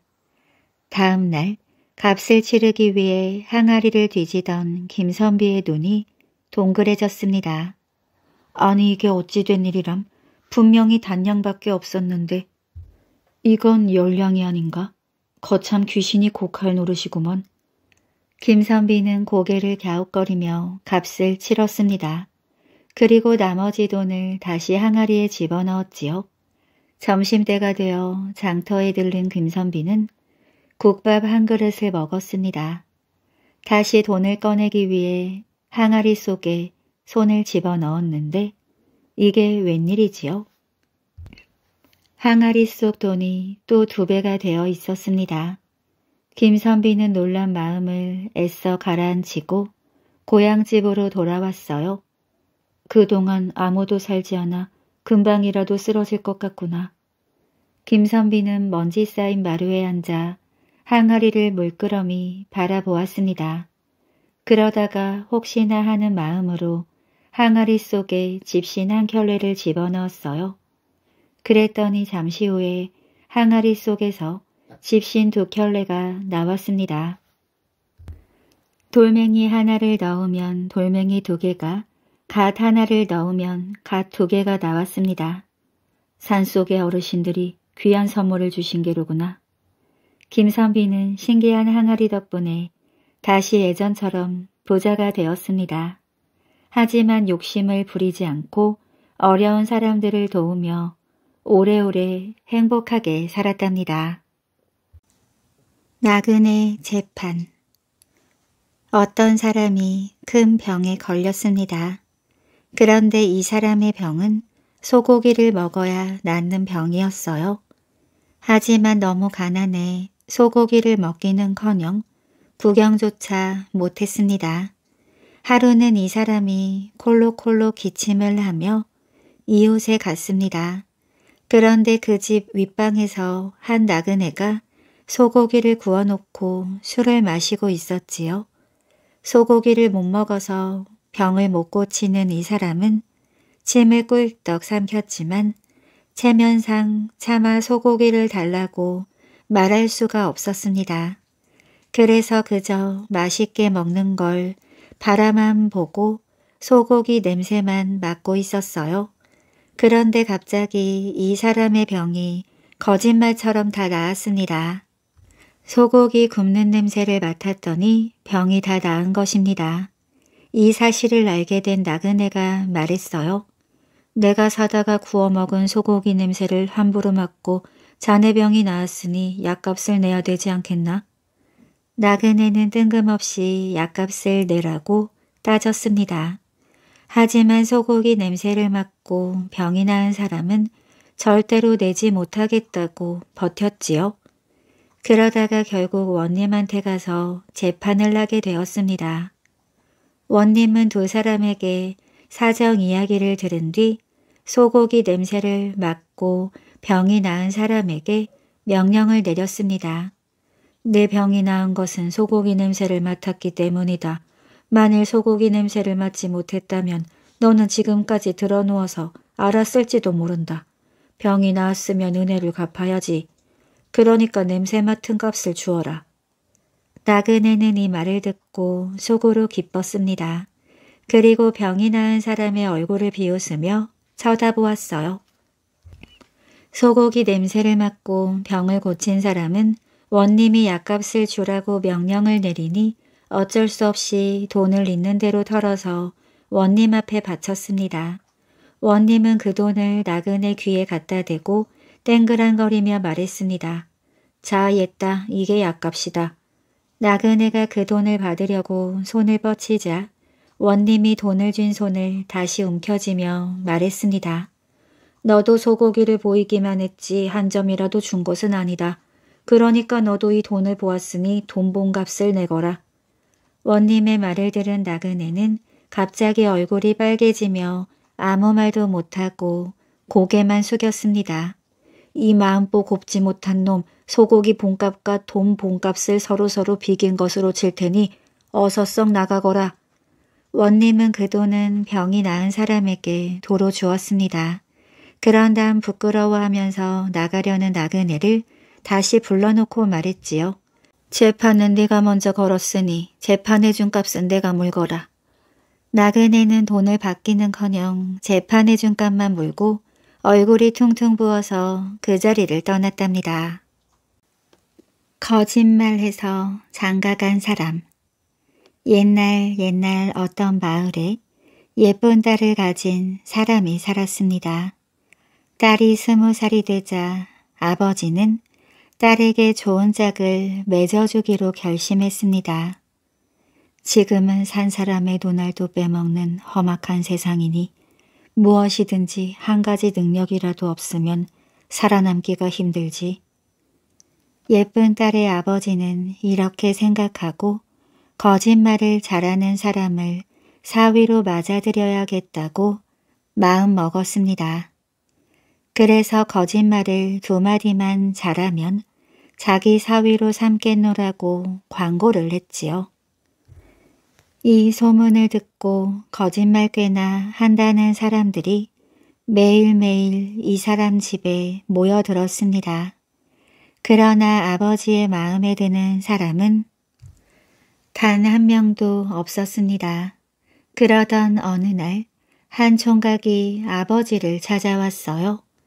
이 총각은 아버지가 있는 사랑방의 문을 열고 들어가자마자 인사도 하지 않고 다짜고짜 말했습니다. 영감님, 전 아무개인데 어제 눈이 내려서 온 산을 하얗게 덮어버렸지 뭐예요. 그래서 제가 꼴망태를 지고 산에 가보았습니다. 꼴을 하나 가득해서 짊어지고 산을 내려오는데 그만 날이 저물었습니다. 길을 잃어 헤매다가 등불을 켜놓은 집 하나가 보이기에 그 집에 갔지요.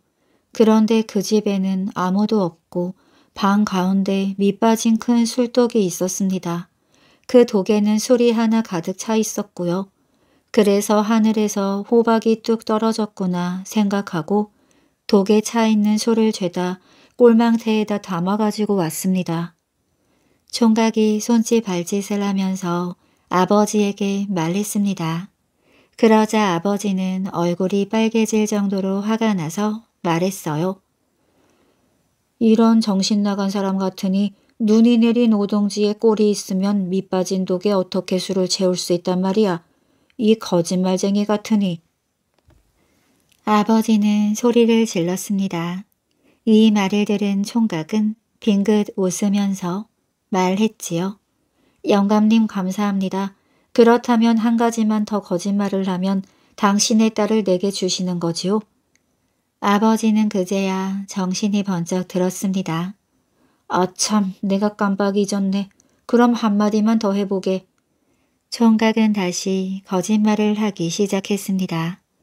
영감님, 영감님의 할아버지하고 제 할아버지가 같이 장사를 하실 때 영감님의 할아버지가 제 할아버지 돈을 수만 양이나 빌려 쓰고 아직 갚지 않으셨습니다. 오늘 그 돈을 영감님께서 갚아주셔야겠습니다. 예쁜 딸을 가진 아버지는 황당했습니다. 만일 이 말이 거짓말이 아니라고 하면 수만 양이라는 큰 돈을 이 청년에게 주어야 할 것이고 또 거짓말이라고 하면 제 딸을 주어야 했으니 말입니다. 아버지는 한참 동안을 망설이다가 이렇게 말했습니다. 그거 참 거짓말이네. 자네 참 장하네 그려. 아버지는 예쁜 딸을 그 총각에게 주었답니다. 도둑 잡은 남편 옛날에 사이좋은 젊은 부부가 있었습니다. 하루는 부부가 함께 아내 친정에 가려고 깊은 산골짜기를 지나가고 있었어요. 그런데 갑자기 무섭게 생긴 도둑들이 나타나 남편을 소나무에다 밧줄로 꽁꽁 동염해 놓고 아내를 빼앗아 가버렸습니다. 남편은 그저 기가 막혔지요. 여보시오, 당신의 이름하고 사는 곳이나 좀 알려주시오. 남편은 큰 소리로 도둑들에게 물었습니다. 오늘 밤에 죽을 사람인데 가르쳐줘도 되겠지 뭐. 도둑들은 이렇게 생각하고 자기가 사는 곳과 이름을 남편에게 알려주었습니다. 사는 곳은 높고 낮은 곳을 쥐었다 펼쳤던 고리고 성은 발 아래 이름은 3년상 먹고 나왔다이다. 도둑들은 이렇게 말한 뒤 아내를 데리고 숲속으로 들어가 버렸습니다. 남편은 몸을 마구 흔들어서 겨우 밧줄을 끊었어요. 그리고 그 도둑들이 들어간 숲속으로 아내를 찾으러 갔습니다. 물론 숲속에는 아무도 없었지요. 남편은 도둑들이 알려준 이름과 사는 곳을 사람들에게 물어보았지만 아는 사람이라고는 한 사람도 없었습니다. 남편은 돌아다니다 보면 우연이라도 아내를 만날까 하고 수년 동안 전국 방방곡곡으로 아내를 찾아다녔습니다. 그러다가 하루는 어떤 동네에 갔는데 나이가 10살쯤 되어 보이는 어린 아이들이 나라님 놀이를 하고 있었습니다. 놀이는 꽤 심각해 보였어요. 남편이 나라님 된 아이 앞에 가서 꿇어 엎드리고 공손히 절했지요. 알겠습니다. 그러니까 나라님 된 아이가 수줍어서 얼굴을 붉히며 빙긋 웃고는 얼굴을 돌렸습니다. 나라님 된 아이 옆에 앉아있던 다른 아이가 그걸 보고 꾸짖었지요. 그렇게 하면 나라님이 아니지 나라님이 그렇게 얼굴을 붉히면 되겠니?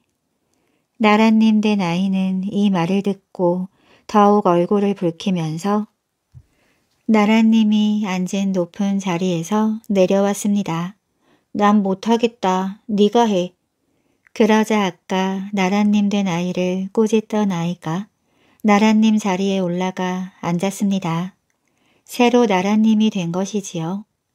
이 아이는 나라님 자리에 올라가 앉더니 남편에게 큰 목소리로 호령했습니다. 여봐라, 다시 한번 너의 소원을 아뢰어봐라. 이 아이는 아주 엄숙한 얼굴을 하고 말했습니다.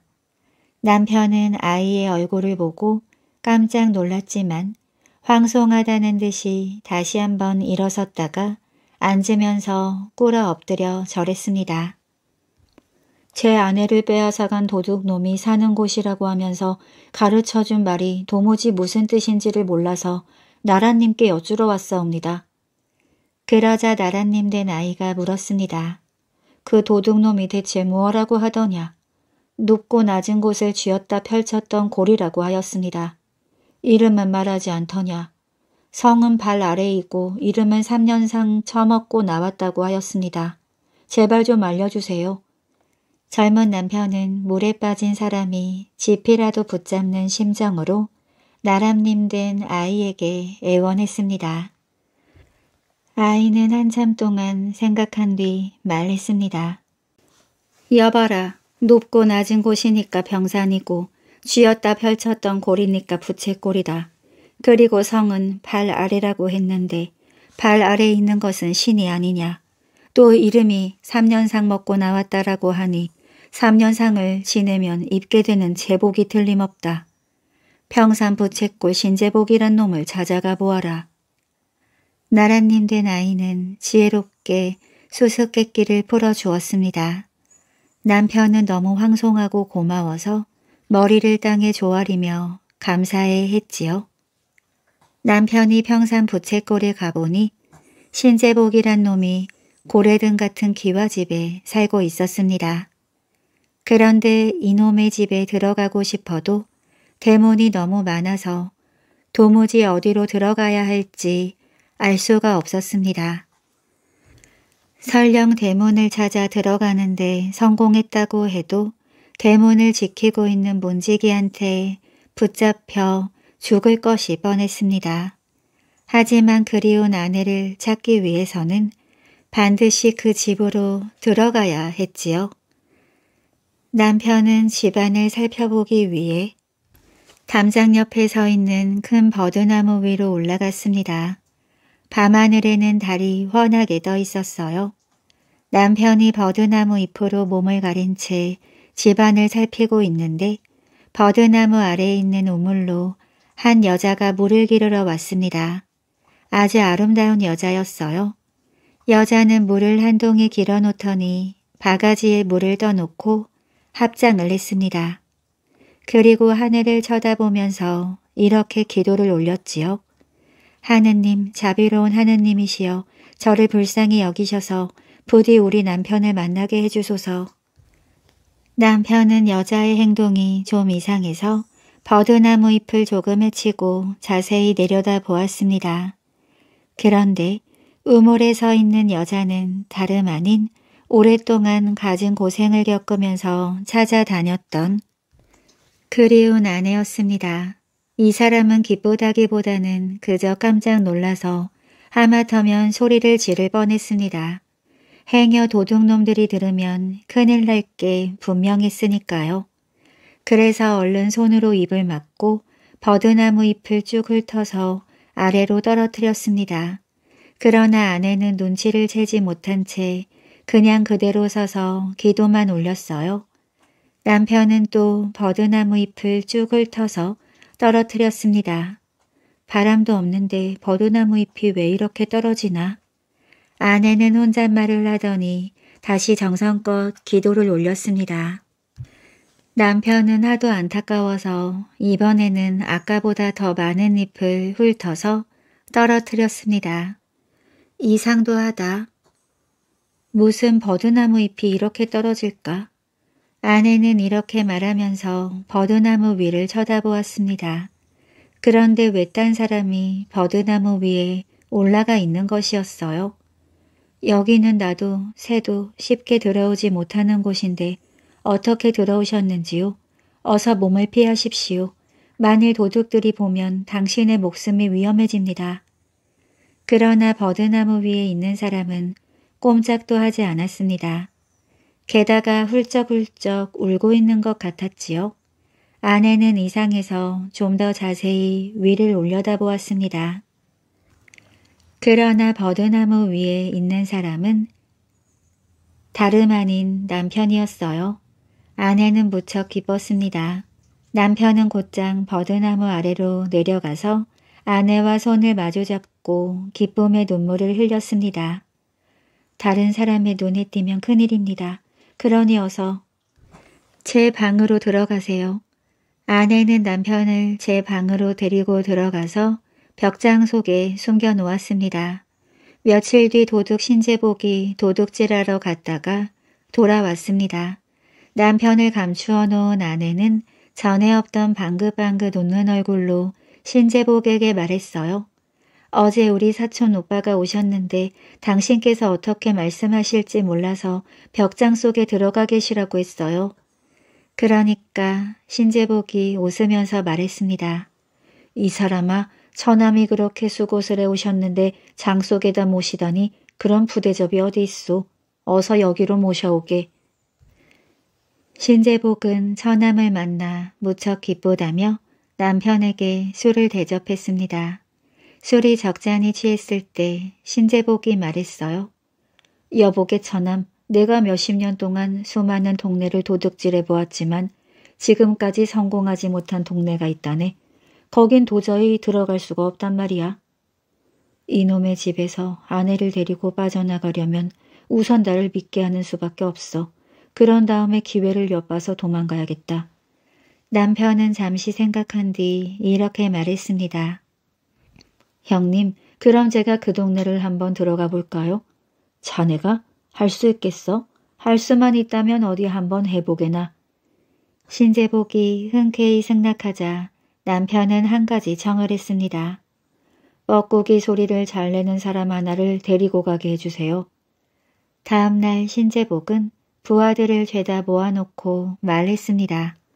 얘들아 너희들 가운데서 뻐꾸기 소리를 잘 내는 사람이 있으면 나오너라. 남편은 신재복이 골라준 뻐꾸기 소리를 잘 내는 사람을 데리고 그 동네로 갔습니다. 남편이 뻐꾸기 소리를 잘 내는 사람에게 말했어요. 이 동네 뒷산에 올라가서 동쪽 하늘에 해가 불그스레 떠오를 때까지 뻐꾹뻐꾹하고 울어라. 뻐꾸기 소리를 잘 내는 도둑은 해가 동쪽 하늘에 불그스레 떠오를 때까지 밤새도록 뻐꾹뻐꾹하고 울었습니다. 이튿날에는 여우 소리를 잘 내는 사람을 데리고 가서 이렇게 말했습니다. 이 동네 뒷산에 올라가 동쪽 하늘에 불그스레 해가 떠오를 때까지 캥캥하고 울어라. 여우 소리를 잘 내는 도둑은 밤부터 해가 뜰 때까지 캥캥하고 여우처럼 울었습니다. 한편 이 동네 사람들은 이틀 내내 뻐꾸기 우는 소리와 여우 우는 소리가 들리자 큰일이 났다며 야단법석을 떨었어요. 옛날부터 이 동네에는 밤중에 뻐꾸기하고 여우가 울면 망한다는 전설이 내려오고 있었기 때문입니다. 이 전설을 믿는 동네 사람들은 두려워서 벌벌 떨었습니다. 이튿날 남편은 나그네 행세를 하고 그 동네로 갔습니다. 동네 사람들은 근심이 가득한 얼굴을 하고 이야기를 나누고 있었지요. 뻐꾸기가 울고 여우가 울었으니 며칠 지나지 않아 우리 동네는 망할 거야. 어떻게 하면 이 위기에서 우리 동네를 구할 수가 있을까? 남편은 동네 사람들 틈에 가서 물었습니다. 이 동네에 무슨 큰일이라도 생겼습니까? 대체 무슨 일입니까? 동네 사람들은 바깥 동네 사람이라고 대답을 해주지 않았습니다. 그러자 남편이 말했어요. 제가 점을 좀 배웠습니다. 이 동네에 무슨 일이 벌어진 것 같아 점을 쳐드리려고요. 무슨 일인지 말씀해 주십시오. 남편의 말을 들은 동네 사람들은 그제야 동네에서 일어난 이상한 일을 말해 주었습니다. 지난 이틀 밤 내내 동네 뒷산에서 하루는 뻐꾸기가 밤새도록 울고 하루는 여우가 밤새도록 울었다오. 옛날부터 내려오는 전설에 따르면 곧 마을이 망할 징조인데 이 일을 어떻게 하면 좋을지 이야기를 나누고 있던 중이오. 남편은 이 말을 듣고 아주 큰일이라도 난 듯이 사람들 앞으로 바짝 다가앉으면서 말했습니다. 그렇군요. 어디 점을 한번 쳐봅시다. 매우 심각한 상황이지만 어디 한번 해보지요. 젊은 남편은 진짜 점쟁이처럼 한참 동안 중얼중얼 점치는 신용을 했습니다. 아무산에 가서 제사를 지내야지 그렇지 않고는 동네를 구할 방법이 없습니다. 그런데 이 제사에는 어린애들은 물론이고 한 사람도 빠짐없이 참석해야 합니다. 동네 사람들은 크게 기뻐하며 이 사람이 말한 대로 산에 가서 제사를 지내겠다고 했습니다. 남편이 다시 집으로 돌아가서 신재복에게 말했어요. 형님, 내일 아모시에 그 동네로 가보시오. 이튿날 부하들을 데리고 그 동네에 간 신재복은 깜짝 놀랐습니다. 도대체 어찌된 일인지 사람 하나 개 한 마리조차 보이지 않았기 때문입니다. 도둑들은 마음에 드는 재물을 하나도 남겨두지 않고 죄다 가져왔지요. 신재복을 비롯한 여러 도둑들은 몇 해 동안 여러 차례 들어가려 해도 번번이 실패했던 이 동네를 이렇게 감쪽같이 털게 되자 남편을 철석같이 믿기 시작했습니다. 그리고 얼마 뒤 남편은 신재복 다음으로 입김이 세졌어요. 어느 날 신재복이 남편에게 이런 말을 했습니다. 여복의 처남 어떤 동네를 들어가려고 수년 동안 벼르고 있었는데 도무지 지키는 이가 많아서 들어갈 수가 없었다네. 처남이 한 번만 더 수고하여 주게. 동네 앞에는 커다란 늪이 있다네. 드디어 내 아내를 데리고 이곳을 도망칠 기회가 왔구나. 남편은 이렇게 생각하고 신재복의 정을 승낙했습니다. 남편은 신재복에게 가죽 포대를 많이 마련해달라고 하였어요. 무슨 훌륭한 꾀를 피우려나 보다. 이렇게 생각한 신재복은 부하들을 시켜 가죽 포대를 잔뜩 마련했습니다. 남편은 가죽 포대를 가지고 신재복과 부하들과 함께 그 동네로 갔지요. 늪가에 도착하자 남편은 도둑들에게 모두 가죽 포대 속에 들어가 있으라고 말했습니다. 신재복의 부하들은 가죽 포대에 들어가기를 주저했어요. 그러자 신재복이 이 모습을 보고 말했지요. 이놈들아 예전에 우리 처남 덕분에 그 동네를 감쪽같이 먹어 삼킨 것이 생각나지 않느냐? 이번에도 요전처럼 맛있게 이 동네를 홀딱 삼키려면 내 말을 잘 들어야 된다. 네까지 것들이 우리 처남의 훌륭한 꾀를 어찌 알겠니? 신재복은 부하들에게 가죽 포대 속으로 들어가라고 말한 뒤 자기부터 가죽 포대 속으로 들어갔습니다. 뒤이어 신재복의 부하 도둑들이 모두 포대 속으로 들어갔지요. 남편은 가죽 포대를 하나씩 실로 잡아맸습니다. 이렇게 도둑들을 밖으로 나오지 못하게 한 뒤 동네로 뛰어 들어가서 다급하게 소리쳤어요. 큰일 났습니다. 얼른 늪가로 나와 주십시오. 젊은 남편은 동네 사람들을 죄다 늪가로 모이게 했습니다. 무슨 일이 생겼나? 늪에 용이라도 떨어졌나? 무슨 일인가 싶어 동네 사람들이 늪가에 나와 보니 수백 개의 가죽 포대가 놓여 있었습니다. 젊은 남편은 가죽 포대들을 가리키며 말했지요. 저 가죽 포대 속에 있는 놈들이 이 동네를 도둑질하러 온 못된 도둑들입니다. 남편은 동네 사람들에게 가죽 포대를 모두 늪 가운데로 차 넣으라고 했습니다. 결국 도둑들은 한 놈도 남지 않고 죄다 죽고 말았지요. 남편은 신재복이 살던 집으로 가서 많은 재산을 말에 싣고 사랑하는 아내의 손을 잡고 고향으로 돌아갔습니다. 그리고 도둑을 맞은 사람들에게 재산을 모두 나누어 주고 둘이서 길이길이 행복하게 살았답니다.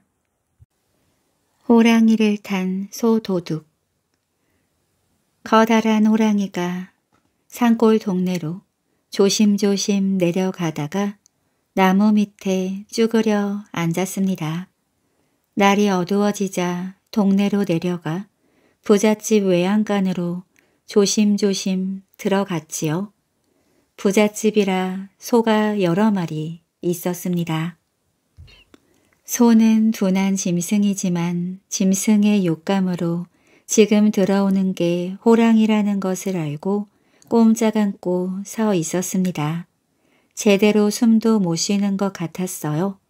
방울 소리도 나지 않았습니다. 호랑이는 잡아먹기에 알맞은 놈을 고르고 다녔습니다. 아까부터 그 집 안방에서는 아이가 큰 소리로 울고 있었지요. 식구들은 아이를 달래느라 애를 먹는 것 같았습니다. 아무리 달래도 막무가내였습니다.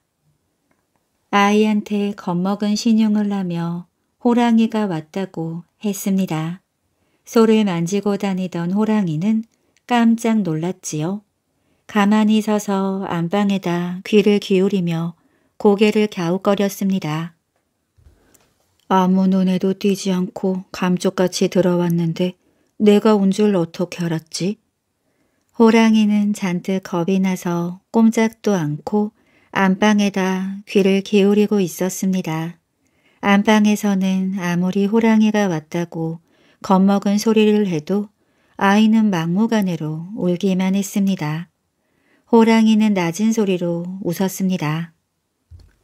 호랑이라면 사람이든 짐승이든 벌벌 떨지 않는 녀석이 없는데 강큰 놈 하나 보겠다고 웃는 것 같았습니다.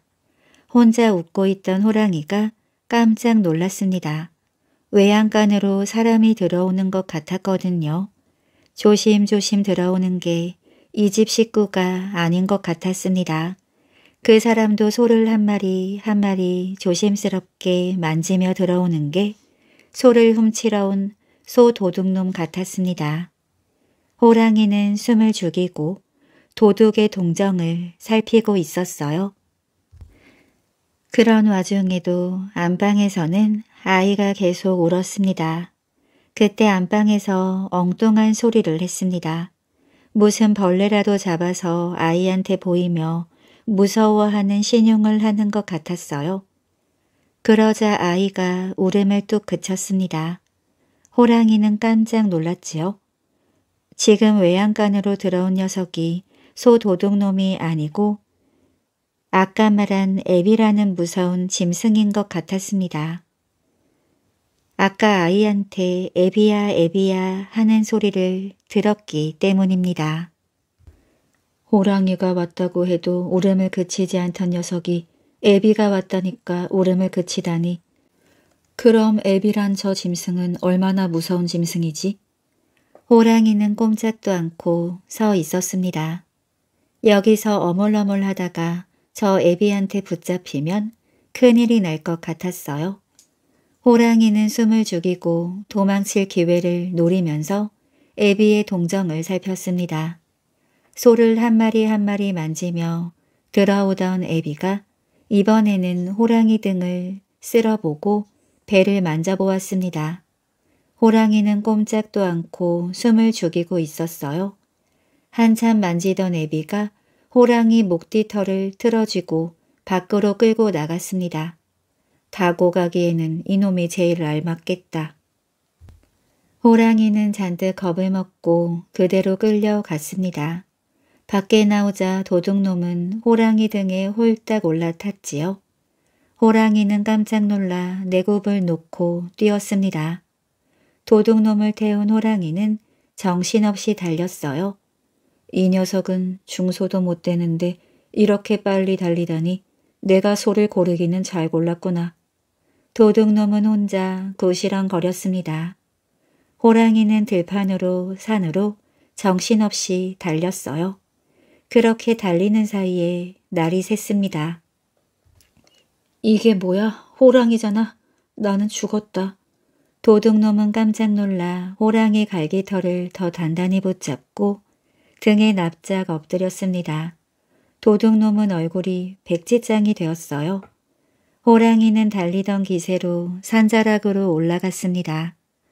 그리고는 고목나무 아래를 지나갔어요.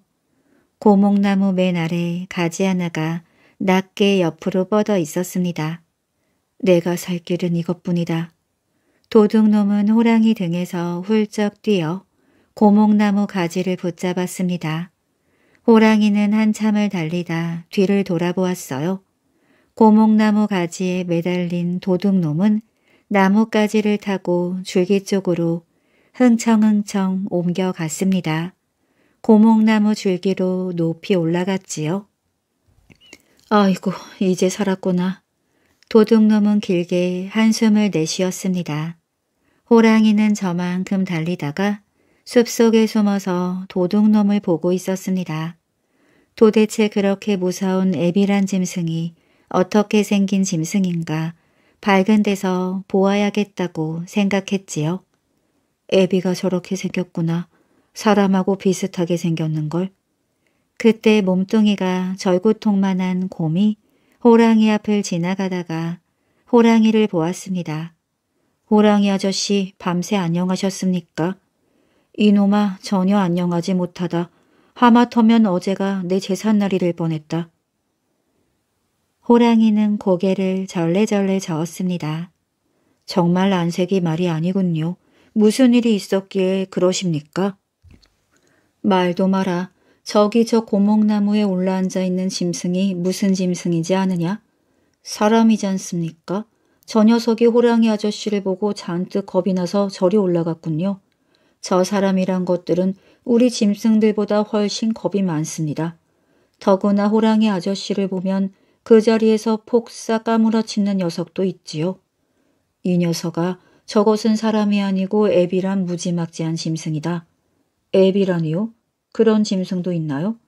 이 녀석아 그것도 모르느냐? 저게 바로 앱이라는 무시무시한 짐승이야. 내가 어젯밤에 저 녀석한테 죽으려다 겨우 살았다.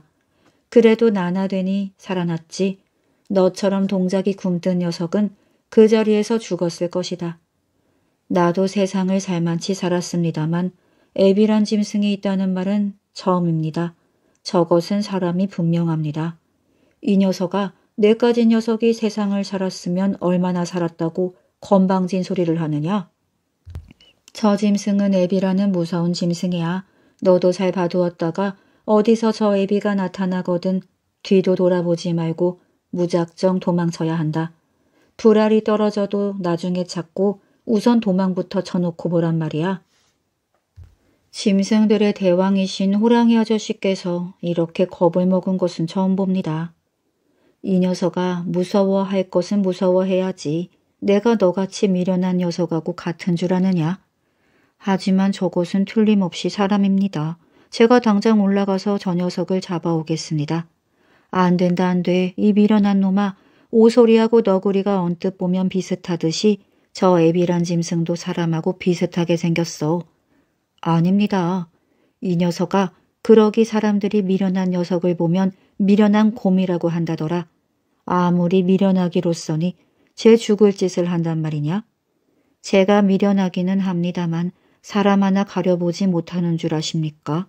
저도 눈이 세 개는 아니지만 호랑이 아저씨만큼 또록또록한 눈을 이렇게 두 개 달고 있습니다. 제가 당장 저 녀석을 잡아오겠으니 저 녀석으로 아침 진지나 푸짐하게 드십시오. 그만두지 못하느냐. 저 녀석을 잡아오기는커녕 네가 죽고 만단 말이다. 길고 짧기는 맞대봐야 알지요. 거기 앉아서 나긋나긋한 사람 고기로 아침 진지 드실 잡이나 하고 계십시오. 미련한 녀석 똥구멍에는 불송곳도 안 들어간다더니 하는 수 없구나. 죽더라도 내 원망은 마라. 곰은 염려 말라며 고목나무로 엉금엉금 올라갔습니다. 아이고 늑대를 피하고 나니 호랑이를 만난다더니 하느님 부처님 저 좀 살려주십시오. 도둑놈은 하늘을 향해서 손을 싹싹 빌었어요.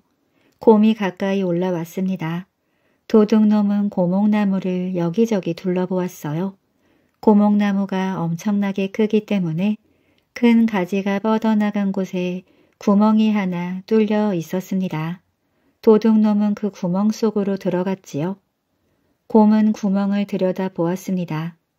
호랑이 아저씨 이거 보십시오. 이 녀석이 여기 구멍으로 들어가서 발발 떨고 있습니다. 이 녀석은 이제 도간에 든 쥐입니다.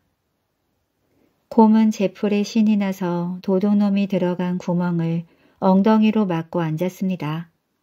아이고 나는 죽었구나. 도둑놈은 컴컴한 나무구멍 속에서 발발 떨고 있었지요. 호랑이 아저씨 이 나무는 너무 오래된 나무라 저 밑으로 구멍이 뚫려 있을지도 모르겠습니다. 녀석이 그 밑으로 빠져나갈지도 모르니 이리 오셔서 구멍을 지키고 계십시오.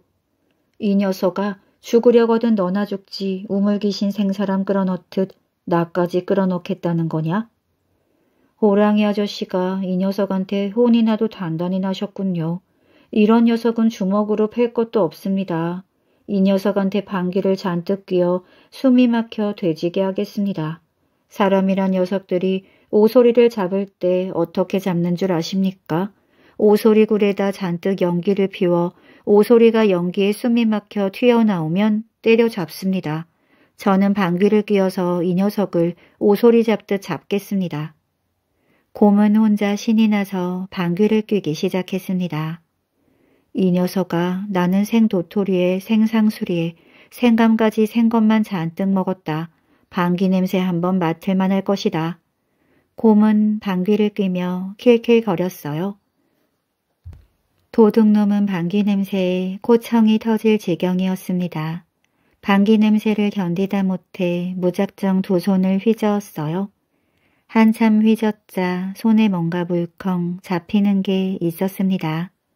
부드러운 게 곰 불알 같았어요. 옳다쿠나 도둑놈은 얼른 상투에서 당주를 풀어냈습니다. 올가미를 만들어 곰 불알에 걸었어요.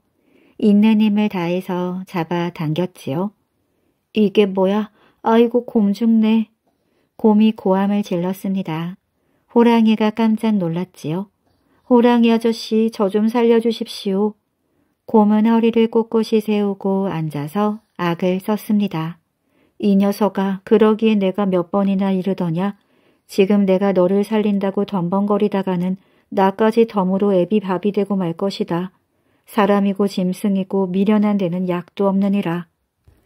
호랑이는 핀잔만 주었습니다. 아이고 곰 살려. 곰은 죽는다고 악다구니를 썼지요. 이 녀석아 나대도 일어서서 나대야지 그렇게 딱 붙어 앉아서 소리만 지르면 어쩌자는 것이냐. 지금 사정이 그렇게 간단하지가 않습니다. 곰은 악을 쓰다가 이내 몸뚱이가 푹 가라앉았습니다. 그대로 땅바닥으로 굴러 떨어졌지요. 아이고 저 녀석이 끝내 죽고 말았구나. 애비가 무섭기는 정말 무서운 짐승이구먼. 호랑이는 고개를 절레절레 저으며 숲속으로 더 깊이 물러섰습니다. 도둑놈은 나무구멍에서 조심조심 나왔지요. 저 녀석이 제대로 숨이 끊어졌구나. 도둑놈은 킬킬거리며 나무에서 내려왔습니다. 호랑이는 잔뜩 겁을 먹고 숲속으로 들어가서 도둑놈을 지켜보고 있었어요.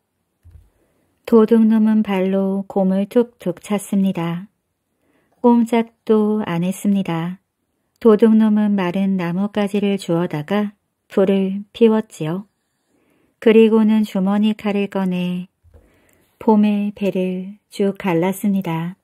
대번의 배가 갈라지며 창자가 쏟아져 나왔어요. 애비란 녀석은 발톱도 저렇게 무시무시하구나. 호랑이는 제 발톱을 보며 중얼거렸습니다. 도둑놈은 곰 고기를 불에 구워 맛있게 먹었습니다. 고소한 냄새의 호랑이는 침만 꼴깍 삼키고 있었지요. 그렇지 않아도 며칠 동안 굶은 데다 어젯밤에는 애비 녀석을 태우고 내내 뛰어다닌 바람에 배가 너무나 고팠습니다. 견디다 못한 호랑이는 고개를 잔뜩 숙이고 애비 곁으로 갔습니다. 애비 아저씨, 호랑이놈 무난들이옵니다. 이놈은 어젯밤에 애비 아저씨를 여기까지 모시고 온 놈입니다. 호랑이가 땅바닥에 납작 엎드리며 두 손을 한데 모으고 정중하게 인사를 했습니다. 도둑놈은 깜짝 놀랐지요. 그렇지만 금방 정신을 차리고 큰 기침을 했습니다. 그러고 보니 어젯밤에 나를 여기까지 태우고 온 녀석이었구나. 어젯밤에는 수고가 많았다. 아니올시다. 그런 걸 수고할 게 있습니까? 되레 영광이었습니다. 너도 배가 고플 것이다. 이리 와서 이 곰고기를 먹거라. 감사합니다. 잔뜩 배가 고픈 호랑이는 씹기 좋은 간부터 물었습니다. 그건 안 돼. 도둑놈이 소리를 질렀어요. 호랑이는 깜짝 놀라 간을 문 채 멍청하게 도둑놈을 보았습니다. 도둑놈은 호랑이 입에서 간을 빼앗아 거기서 쓸개를 발라냈습니다. 그러고 나서 다시 호랑이한테 던졌지요. 애비 아저씨는 자상하기도 하십니다. 제가 쓸개까지 먹었더라면 입안에서 불이 났을 텐데 쓸개를 발라주시다니 감사합니다. 뭘 그런 걸 가지고 그러느냐? 도둑놈은 쓸개를 나무 잎사귀에 잘 싸서 한쪽에 놓고 호랑이와 함께 개걸스럽게 곰 고기를 먹었습니다. 곰 쓸개는 한약재로 으뜸 가는 약재라 이렇게 큰 곰옹담이면 논 열마지기 값을 받을 것입니다. 애비 아저씨, 어제 저녁에 저는 영락없이 애비 아저씨한테 잡아먹히는 줄만 알았습니다. 그런데 어째서 저를 잡아먹지 않으셨습니까? 내 놈은 몸이 날래니까 잡아먹는 것보다 타고 다니는 것이 좋을 것 같아서 잡아먹지 않았다. 그래서 나는 이런 곰이나 멧돼지만 잡아먹지 너희 호랑이들은 잡아먹지 않는다. 그렇습니까? 그러면 앞으로도 저는 언제든지 아저씨를 태우고 다니겠습니다. 애비 아저씨들과 사람들은 어떻게 다른지 가르쳐 주실 수 있습니까? 구별이 어려울 것이다. 고기를 어지간히 먹었으니 나를 우리 고을 읍내까지 태워다 주어야겠다. 사람하고 애비하고 다른 점은 가면서 가르쳐 주마. 네. 도둑놈은 웅담을 떡갈나무 잎에다 여러 겹 싸서 괴춤에 챙기고 호랑이 등에 올라탔습니다. 그건 던져버리시지 무엇에 쓰려고 소중하게 간수하십니까? 아무데다 던졌다가 허기진 녀석들이 주워 먹으면 무슨 꼴이 되겠느냐? 정말 자상하신 애비 아저씨입니다. 애비하고 사람은 종자는 한 종자다. 그래서 얼굴 생김새나 몸뚱이 모양은 똑같지만 입고 다니는 옷이 다르다. 사람이란 것들은 소매가 넓고 옷 길이가 무릎 아래까지 내려간 도포라는 옷을 입고 머리에는 가시라고 말총으로 짠 모자를 쓰고 다닌다. 그리고 그 녀석들은 어깨판을 쩍 벌리고 한껏 거드름을 피우고 다니기도 한다. 알겠습니다. 그런 녀석들을 많이 보았습니다. 그랬을 것이다. 그렇지만 애비는 나처럼 이렇게 간동한 바지 저고리에 갓을 쓰지 않은 맨상투바람이고 더러는 지게에 짐을 지고 다니기도 한다. 그러니까 맨상투에 간동한 바지 저고리를 입고 다니는 애비를 잘못 건드렸다가는 큰코 다친다. 알겠느냐? 알겠습니다. 금방 내가 말한 대로 잘 보고 사람이라는 것들만 잡아먹어라. 우리 집은 저쪽이다. 이 고을사또가 싸가지가 없는 녀석이라 그 녀석 버르장머리부터 고쳐놓고 가야겠다. 사또 버르장머리를 고친다고요? 그럼 나졸들이 창을 들고 덤벼들지 않겠습니까? 내가 너를 타고 가면 모두 겁을 먹고 꼼짝 못할 것이다. 안심하고 가자. 도둑놈은 재를 넘어 들판 길에 들어섰습니다. 아이고 사람이 호랑이를 타고 온다. 웬 사람이 호랑이를 타고 다니지? 동네 사람들은 눈이 둥그레졌습니다. 선인, 진짜 신선이 나타났구나. 동네 사람들 가운데 유식해 보이는 늙은이가 말했습니다. 호랑이를 타고 다니는 신선이라는 말로 기호선인이라는 말이 있습니다. 기호선인이라더니 진짜로 신선이 나타났구나. 아닙니다. 저 녀석은 소도둑놈입니다. 남의 소를 훔쳤다가 두 번이나 징역을 살았지요. 맞아, 바로 그 도둑인데? 동네 사람들은 눈알이 튀어나올 것 같았습니다. 그때 그 고을 사또가 어디 먼 길을 가는지 말을 타고 왔습니다. 나졸들이 연암은 명이나 창을 들고 사또 뒤를 따르고 있었지요. 갑자기 호랑이가 나타나자 말이 깜짝 놀라 아빠를 들었습니다. 사또는 공중에서 땅바닥으로 나동그라졌지요. 나졸들도 창을 내던지고 걸음아 날 살려라 도망쳤습니다. 사또는 호랑이 앞에 납작 엎드렸어요. 도둑이 고함을 질렀습니다. 사또, 나를 알아보겠느냐? 아다마다요. 그저 목숨만 살려주십시오. 사또는 무릎을 꿇고 두 손을 비볐습니다. 동네 사람들은 담 너머로 고개를 내밀고 넉나간 꼴로 보고 있었지요. 이놈 공자님을 몰라봐도 유분수지 이렇게 호랑이를 타고 다니는 것을 보고도 내가 누군지 모르겠는가. 알겠습니다. 소인이 눈이 트이지 않아 여태까지 신선님을 알아보지 못했습니다. 이 녀석아, 내가 어째서 남의 집에서 밤중에 소를 세 번이나 끌어낸 줄 아느냐. 그때마다 급한 일이 생겼는데 이 호랑이를 다른 데로 심부름을 보냈기 때문에 호랑이 대신 소를 타고 가려고 그런 것이다. 그런데 너는 나를 소도둑놈이라고 잡아다가 곤장을 치고 징역을 살렸으니 내 죄가 어떠한지 알겠느냐? 죽을 죄를 지었습니다. 목숨만 살려주십시오. 그때 멀리서 여우가 그 꼴을 보고 고개를 갸웃거렸습니다. 가만히 있자. 저 녀석은 소도둑놈인데 우리 대왕님을 타고 있네. 고개를 갸웃거리던 여우가 호랑이 곁으로 갔지요. 대왕 어르신 이게 어찌 된 일입니까? 어찌 된 일이냐고 보는 대로 이렇게 애비 어른을 모시고 오는 길이다. 애비 어른? 저작자는 흉악한 소도둑놈입니다. 소를 훔쳤다가 붙잡혀서 여러 번 징역을 살았지요. 대왕 어르신 채통에 이게 무슨 꼴입니까? 이놈아, 네 앞에서 함부로 주둥이를 놀리느냐? 이분은 애비라는 어르신이다. 대왕님께서 소도둑을 태우고 오니까 저렇게 엎드린 겁니다. 저 녀석은 세 번이나 소도둑질을 한 소도둑입니다. 여우가 큰 소리로 사또를 가리켰습니다. 이놈은 소도둑이 맞습니다.